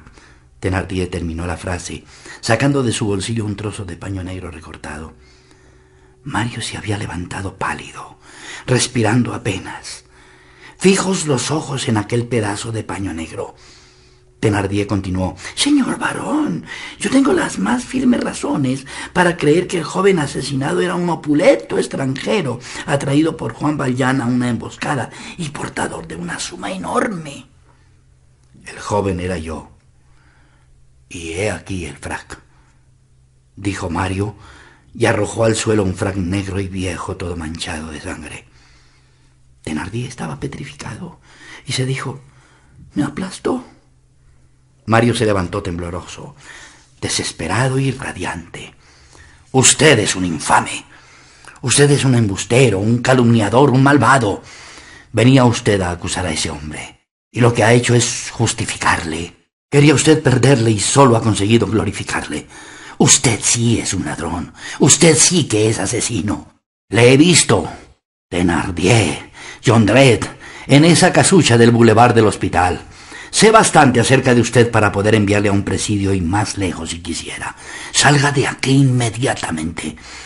Waterloo lo protege. ¿Waterloo? gruñó Thenardier. Sí, asesino. Allí salvó usted la vida de un coronel. A un general, dijo Thenardier levantando la cabeza. A un coronel, replicó Mario con furia. Yo no daría un ochavo por un general. Y venía usted aquí a hacer infamias. Yo le digo a usted que ha cometido toda clase de crímenes. Mañana mismo saldrá usted para América con su hija, pues su mujer ha muerto, embustero abominable. Señor varón, respondió Thenardier saludando hasta el suelo. Reconocimiento eterno. Y sin comprender nada de lo que sucedía, salió estupefacto y enajenado. Dos días después de estos acontecimientos, marchó con dirección a América bajo un nombre supuesto y en compañía de su hija Selma. La miseria moral de Thenardier, el burgués fingido, era irremediable. En América fue lo mismo que había sido en Europa. Con el dinero de Mario, Thenardier se hizo negrero. Luego que Thenardier hubo salido, corrió Mario al jardín donde Coseta estaba aún paseando. Coseta, Coseta, gritó Mario, ven aquí, marchemos. Y es él quien me salvó la vida. Mario estaba desatinado. Comenzaba a ver en aquel Juan Valjean cierta figura elevada y sombría. Se le aparecía allí una virtud inaudita, suprema y humilde en su inmensidad. El coche partió. ¡Ah, qué dicha! dijo Coseta. Vamos a ver a tu padre. Coseta, yo lo adivino todo. Tú me has dicho que no recibiste la carta que yo te envié por medio de Gavroche. Sin duda fue a parar a sus manos, y enseguida llegó a la barricada para salvarme. Como en él es una necesidad del ser un ángel, de paso salvó también a otros. Salvó a Javert. Me sacó de aquel abismo para darme a ti. Me condujo sobre sus hombros a través de esa espantosa cloaca. Tienes razón, dijo ella sin comprender ni una palabra. Mientras tanto el coche se había detenido en la casa de Juan Valjean. Al oír el golpe que dieron en la puerta, Juan Valjean volvió la cabeza. Adelante, dijo en voz débil. Se abrió la puerta y aparecieron Coseta y Mario. Coseta, dijo Juan Valjean, y se enderezó sobre su silla con los brazos abiertos y temblorosos, trágico, lívido, despidiendo los ojos una inmensa alegría. Coseta, sofocada por la emoción, cayó sobre el pecho de Juan Valjean. Padre, le dijo, eres tú, estás aquí, con que me perdonas. Mario, bajando los párpados para impedir que le corrieran las lágrimas, dio un paso y murmuró, Padre mío. Y usted también me perdona, dijo Juan Valjean. Qué tonto es uno. Creía yo que no la vería más. Coseta, ¿le oyes? Mira, me pide perdón. ¿Y sabes lo que ha hecho, Coseta? Me ha salvado la vida, más aún, me ha unido contigo. Pero usted, ¿por qué no nos lo ha dicho? Salva usted la vida a las personas y guarda para sí luego el secreto sin decirles nada. Si hubiera hablado, esto hubiese estorbado todo. ¿Estorbado qué? ¿A quién? ¿Cree usted que va a quedarse aquí? Venimos a llevárnosle. Es muy cierto que sería delicioso vivir allí todos juntos, pero no hay remedio, dijo en tono triste y afable. Coseta estrechó entre las suyas las manos del anciano. Dios mío, sus manos están muy frías. ¿Está usted enfermo? ¿Sufre usted? Yo no. No, estoy muy bien. Solo que... que voy a morir. Coseta lanzó un grito desgarrador. Padre, Padre mío, vivirás y yo quiero que usted viva. ¿Lo entiende? Usted está lleno de fuerza y de vida, exclamó Mario. Soy yo quien le pide ahora perdón y de rodillas. Qué bueno es tu marido, Coseta. Estás mucho mejor que conmigo. Juan Valjean, casi sin dejar de mirar a Coseta, dijo lentamente, No es nada morir. Lo horrible es dejar de vivir. Voy pues a dejaros, hijos míos. Amaos siempre mucho. No hay otra cosa en este mundo que amarse. Coseta y Mario cayeron de rodillas desatinados, ahogados por el llanto, cada uno sobre una mano de Juan Valjean. Aquellas manos augustas no tenían ya movimiento. Hallábase inclinado hacia atrás. El resplandor de los candelabros le iluminaba, su blanco rostro miraba al cielo y dejaba a Coseta y Mario que cubrieran sus manos de besos. Estaba muerto. Era una noche sin estrellas profundamente oscura. Sin duda,